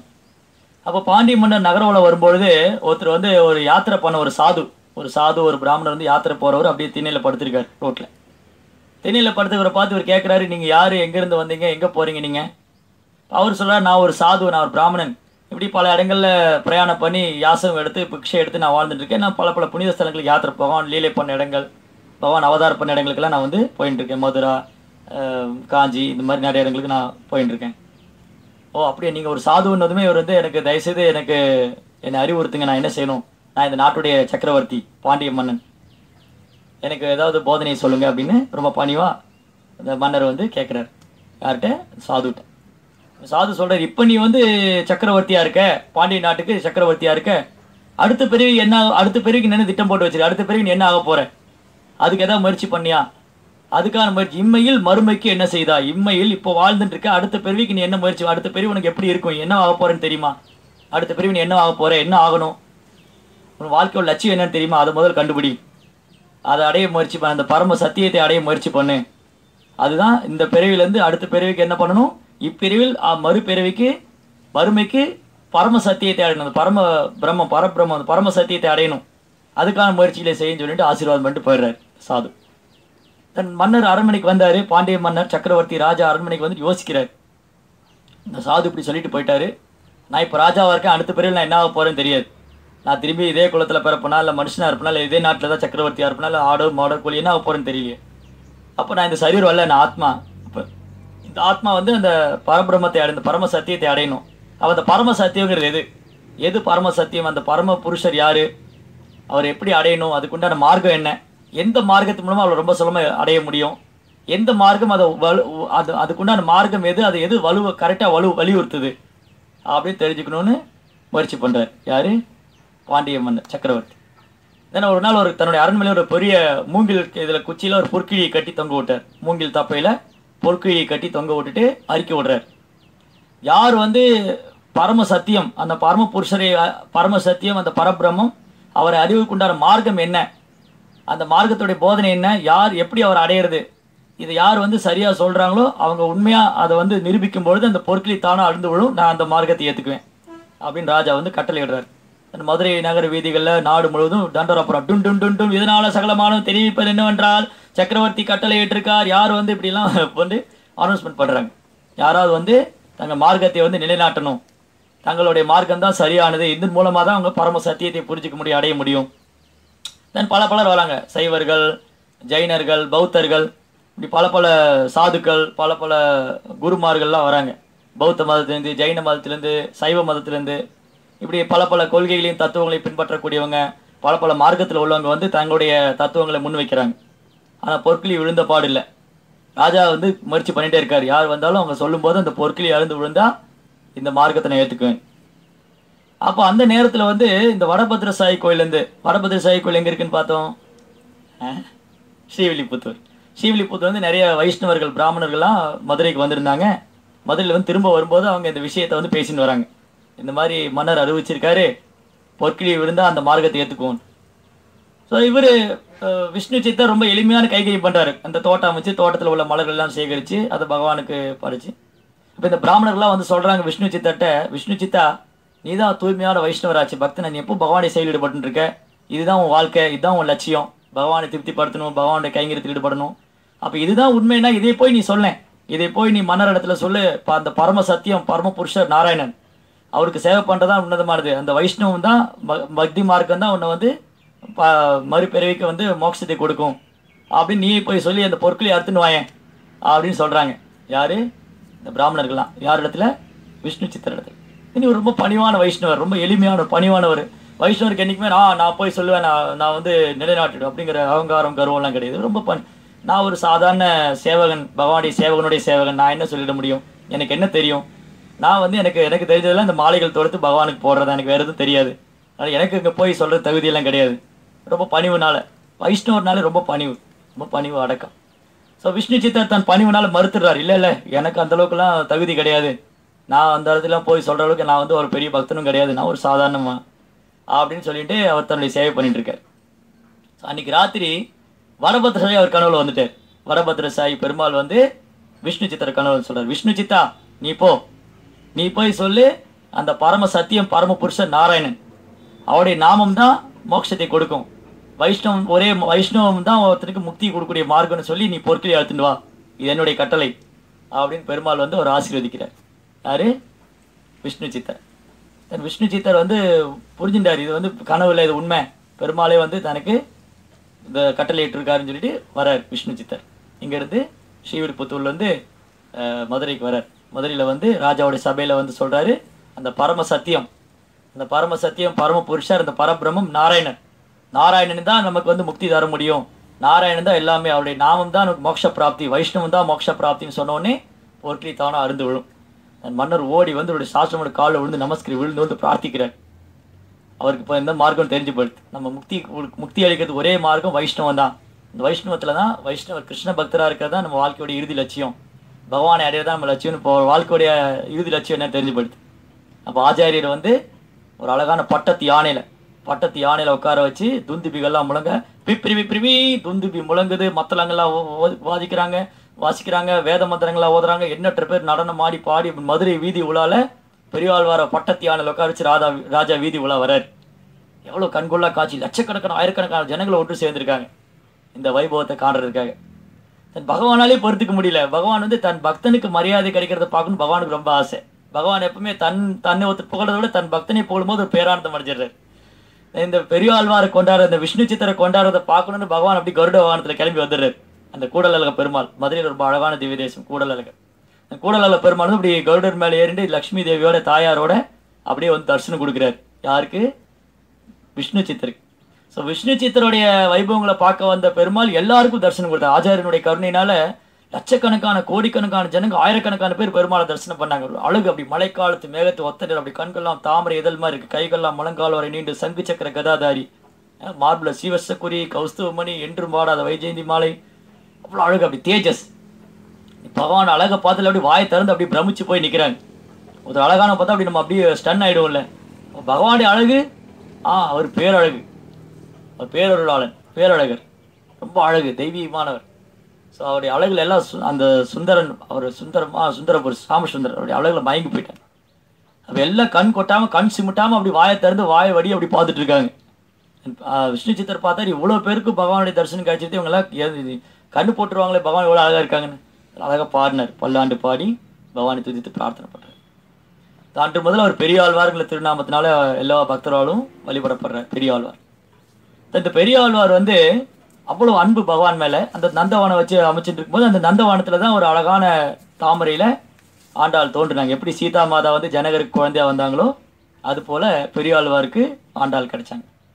ஸோ ஆண்டாளுடைய ஒரே நோக்கம் கிருஷ்ணருடைய மகிமைகளை கிருஷ்ணனுடைய மகிமைகள் அவருடைய லீலைகள் வை வைபவங்களை வந்து எல்லாருக்கும் பிரச்சாரம் செய்கிறது தான் பக்தியை பயிற்சி பண்ணணும் பக்தியை விநியோகம் பண்ணணும். நேற்று பேசினதுல மச்சித்தா மத்கத பிராண போதையந்த பரசரம் கதையந்த தஷ்யமா நித்துச்சந்திச்சா ரமந்திச்சா. ஸோ ஆண்டாள் எப்பவும் கிருஷ்ணாவோட லீலைகளை கேட்டுனேன் பெரியாழ்வார் வந்து ஒவ்வொரு நாளும் ஒவ்வொரு நாளும் கிருஷ்ணாவோட லீலைகளுடைய மகிமைகள் வைபவங்கள்லாம் சொல்ல கிருஷ்ணா வந்து ஆயர் குலத்தில் ஆயர்பாடியில் கோகுலத்தில் கோலோக விருந்தாவனத்தில் மண் உண்டது வெண்ணெய் உண்டது கோபிகளோட லீலை புரிந்தது. யமுனா நதிக்கரையில் கோவர்த்தன மலையில் இந்த எல்லா லீலைகளையும் வந்து ரொம்ப அழகாக ரொம்ப சந்தோஷமாக வர்ணிக்கிறார். அவர் எப்பவும் பெரியவாழ்வார் எப்பவும் கிருஷ்ணாவுடைய நினைவிலே இருக்காரு. எப்போ தன்னுடைய வாழ்க்கையை கிருஷ்ணாவுக்கு அர்ப்பணிச்சிருக்காரு? அதே போல் ஆண்டாள் இடத்துலையும் கிருஷ்ணாவுடைய மகிமை லீலைகள்லாம் சொல்லி சொல்லி ஆண்டாள் குழந்தையிலிருந்து கிருஷ்ணாவுடைய லீலைகளை கேட்டு கேட்டு கேட்டு கேட்டு அப்படி கிருஷ்ணா மேலே ஒரு இனம் புரியாத அன்பு. கிருஷ்ணரை வந்து தன்னுடைய கணவரா தன்னுடைய காதலனால் பாவச்சுட்டு கோபிகளுடைய பாவத்தில் ஆண்டாள் வந்து தன் தோழிகள்லாம் சேர்த்துட்டு கோபிகளுடைய பாவத்தில் பிரார்த்திக்கிறாங்க. முப்பது பாசனங்கள் ரொம்ப அழகாக ஆண்டாளுடைய முப்பது பாசனம் கோபிகளுடைய பாவத்தில் எல்லாரும் வந்து கிருஷ்ணா மேலே எந்தளவுக்கு கோபிகள் அன்பு பண்ணாங்களோ அந்த அன்பு அந்த மாதுரிய பாவத்தை வந்து ஆண்டாள் வெளிப்படுத்தினாங்க. ஸோ கிருஷ்ணர் தான் எனக்கு கணவனாக வரணும். பகவானே தனக்கு கணவனாக வரணும். மனிதனை மறக்க மனிதனை வந்து ஜட உலகத்தில் மானிடரை மற மணக்க முடியக்கூடாது பகவானே எனக்கு கணவனாக வரணும்னு அவங்க பகவான் மேலே அவ்வளோ அன்பு வச்சுருக்காங்க. கோதை. ஆண்டாள். ஸோ ஆண்டாள் இப்படி எவ்வளோ பக்தி பண்ணுறாங்க இந்த ஆண்டாள் வந்து என்ன பண்ணுறாங்க தன்னுடைய அப்பாவோட சேர்ந்து பெருமாளுக்கு மாலை தொடு தொடுத்து கொடுக்குறாங்க. அந்த மாலை நல்லா இருக்கான்னு போட்டு பார்த்துக்குவாங்க இப்போ நம்ம போனாலும் ஸ்ரீவில்பத்தில் அந்த கிணறு இருக்கும். அந்த கிணறுல வந்து ஆண்டாள் எட்டி பார்ப்பாங்களாம். அந்த கிணத்துல உள்ள தண்ணியில் பார்த்தா தெரியும் இந்த மாலை அழகாக இருக்கா இல்லையான்னு. ஆண்டாள் அந்த மாலையை போட்டு பார்த்துட்டு கொடுக்குறாங்க. இது பெரியாழ்வாருக்கு தெரியாது. தினமும் கொண்டு போய் அந்த ஆண்டாள் போட்டு பார்த்த மாலையை தான் பெரியார் பெரியாழ்வார் சாத்தின்னு இருக்கார் பெருமாளுக்கு வடபத்திர சாய்க்கு ஒரு நாள் ஆண்டாள் மாலை போட்டு பார்க்குறத பெரியாழ்வார் பார்த்துட்டார். சூடி தந்த சதர் கொடி. நான் போட்டு பார்த்துட்டு அது பெருமாளுக்கு கொடுத்தாங்க. பெரியாளர் பார்த்தோன்னே அவருக்கு தாங்க முடியல. என்ன ஆண்டாள் இப்படி ஒரு அபச்சாரம் பண்ணிட்ட? ஒரு குற்றம் அழிச்சிட்டு நீ எவ்வளோ பெரிய குற்றம் இது? பெருமாளுக்கு சாத்துற மாலை நம்ம போட்டு பார்க்கலாமா? இது என்ன ஒரு அபத்தமான செயல் இது? அதனால் இந்த மாலை வந்து பெருமாளுக்கு சாத்த தகுதி இல்லை. நம் பகவானுடைய பிரசாதத்தை நம்ம ஏற்றுக்கலாம் பகவான் போட்ட மாலையை அந்த பிரசாதம் அந்த மகா பிரசாதத்தை நம்ம ஏற்றுக்கலாம் அதை நம்ம பயன்படுத்துனது பெருமாளுக்கு எப்படி கொடுக்க முடியும்? அதனால் இந்த மாலை வந்து பெருமாளுக்கு சாத்த தகுதி இல்லைன்னு ரிஜெக்ட் பண்ணிடுறார். ஆண்டாள் கட்டிய மாலையை ஆண்டாள் சூடி பார்த்த மாலையை போடாமல் தவிர்த்துடுறார். ஆண்டாளுக்கு ஒரு வேதனை. என்ன இந்த மாலையை வந்து பெருமாளுக்கு கொடு- கொடுக்கலையே கொடு போடலையேன்னு. இன்னொரு பக்கம் பெருமாளும் தாங்க முடியல. பெருமாள் வந்து சொல்றாரு பெரியாழ்வார்ட்ட எனக்கு ஆண்டாள் சூடின மாலை தான் வேணும். அதை கொண்டு வந்து கொடு. அதை தான் அப்போ தான் நான் திருப்தி அடைய அதுதான் எனக்கு சந்தோஷம். பெருமாளை வந்து சொல்லும்போது பெரியாழ்வாருக்கு ரொம்ப ஆச்சரியம். அது மட்டும் இல்லை ஆண்டாள் சொல்கிறாங்க அவர் தான் எனக்கு கணவனாக வரணும். அது எப்படி நடக்கும்? பகவான் எப்படி உனக்கு கணவனாக முடியும்? நான் பகவானை தான் கல்யாணம் பண்ணிக்குவேன். ரங்கநாதர் வந்து சொல்கிறாரு ஆண்டாளை ஸ்ரீரங்கத்துக்கு அழைச்சிட்டு நான் கல்யாணம் பண்ணிக்கிறேன். அதனால் பெரியாழ்வார் பகவானுக்கு மாமனார் ஆயிட்டார். அதான் பெரியாழ்வார். ஆண்டாள் ஸ்ரீரங்கத்தில் வந்து ரங்கநாதரை வந்து கல்யாணம் பண்ணிக்கிறாங்க. அதனால தான் ஆண்டாளுக்கு வந்து ரங்கநாதருக்கு உற்சவம் இந்த மாலைகள்லாம் ஸ்ரீவில்லிபுத்தூர்லேருந்து திருப்பதிக்கு ரங்கநாதருக்கு மாலை செஞ்சு அனுப்புவாங்க. ஆண்டாள் சூடிய மாலை ஆண்டாளுக்கு சூடிய மாலை. சரி அப்படி ஆண்டாள் வந்து அவங்க எப்படி இந்த உலகத்தில் பக்தி பண்ணணும்? எப்படி பகவானுடைய சிந்தனையில் வாழ்றது? எப்படி பகவான் மேலே அன்பு செய்கிறது அப்படின்னு முன்னுதாரணமாக வாழ்ந்து காமிச்சாங்க. பூமாதேவியே ஒரு பக்தரோட ரூபத்தில் வந்து ஒரு பக்தன் எந்த அளவுக்கு பகவான் மேலே அன்பு செய்யணும்னு வாழ்ந்து காமிச்சாங்க. அவங்களுடைய பாடல்கள் அனைத்தும் கிருஷ்ண பக்தி கிருஷ்ணனுடைய நாமத்துடைய மகிமைகள். நீங்கள் சொன்ன மாதிரி நாராயணனே நமக்கு பறை தருவார். நாராயணன் தான் முக்தி தருவார். அவருடைய நாமத்தை பாடணும் ஓங்கி உலகளந்த உத்தமன் பேர் பாடு. அவருடைய நாமத்தை பாடுங்க. வாயினால் பாடி மனிதனால் சிந்திக்க போயபலியும் புகுதர்வானிந்தனமும் தீயினால் தூசாகும் செப்பேலோர் என்பார். அவருடைய புகழ் பகவானுடைய நாமத்தை பாடணும். பாடி ஆடணும். மனதால் அவர் தியானிக்கணும். அவருக்கு மலர்களை தொடுத்து அவரை ஆராதிக்கணும். ஸோ எப்படி ஆண்டாள் தோன்றிய இந்த அற்புதமான தினம் நாளைக்கு ஆடிப்பூரம் இந்த ஆடிப்பூரத்தில் தான் ஆண்டாள் வந்து இந்த பூமியில் தோன்றி பகவான் மேலே எப்படி அன்பு செய்கிறதுங்கிறத நமக்கு கற்றுக் கொடுக்குறாங்க. ஒரு பக்தன் எப்படி வாழணும்? எந்த மாதிரி பகவானை பிரார்த்திக்கணும்? அவர்கிட்ட எப்படி அன்பு செய்கிறது பக்தித்தோடைய மகிமைகள் எல்லாம் ஆண்டாள் வந்து இந்த ஆடி மாதம். இந்த ஆடி மாதம் ரொம்ப சிறப்பாக இந்த ஆண்டாள் அவதாரம் பண்ணால் இந்த ஆடிப்பூரம் வந்து ரொம்ப ரொம்ப விசேஷமானது. அது நம்மளும் ஆண்டாள் இடத்துல பிரார்த்தனை பண்ணுவோம். நமக்கும் கிருஷ்ண பக்தியில் முன்னேற்றம் அடையணும். பகவான் மேலே தூய்மையான அன்பு ஏற்படணும். பக்தி தொண்டில் உறுதியாகணும் பகவானுடைய நாமத்தை குற்றமற்று ஜபிக்கணும். வைஷ் வைஷ்ணவருக்கு பக்தர்களுக்கு சேவை பண்ணணும். ஸோ இப்படி ஆடி மாதம் நிறைய வைபவங்கள் நிறைந்தது. ஆடி பிறப்பு ஆடி பெருக்கு ஆடி அமாவாசை ஆடி பூரம் இது எல்லாமே பகவானோடு சம்மந்தப்பட்டது ஸோ பகவானோடு சம்மந்தப்படும் போது அது ரொம்ப மங்களகரமான ஆயிடும் அதனால் இந்த மாதத்தில் வந்து நம்ம எவ்வளோக்கு எவ்வளோ பக்தி அதிகமாக பண்ணுறோமோ எவ்வளோக்கு எவ்வளோ நாமங்களை அதிகமாக உச்சரிக்கிறோமோ நம்ம பகவானுடைய கருணை பெறும் ஹரே கிருஷ்ணா. ஜெய் ஸ்ரீ பிரபாதிக்கு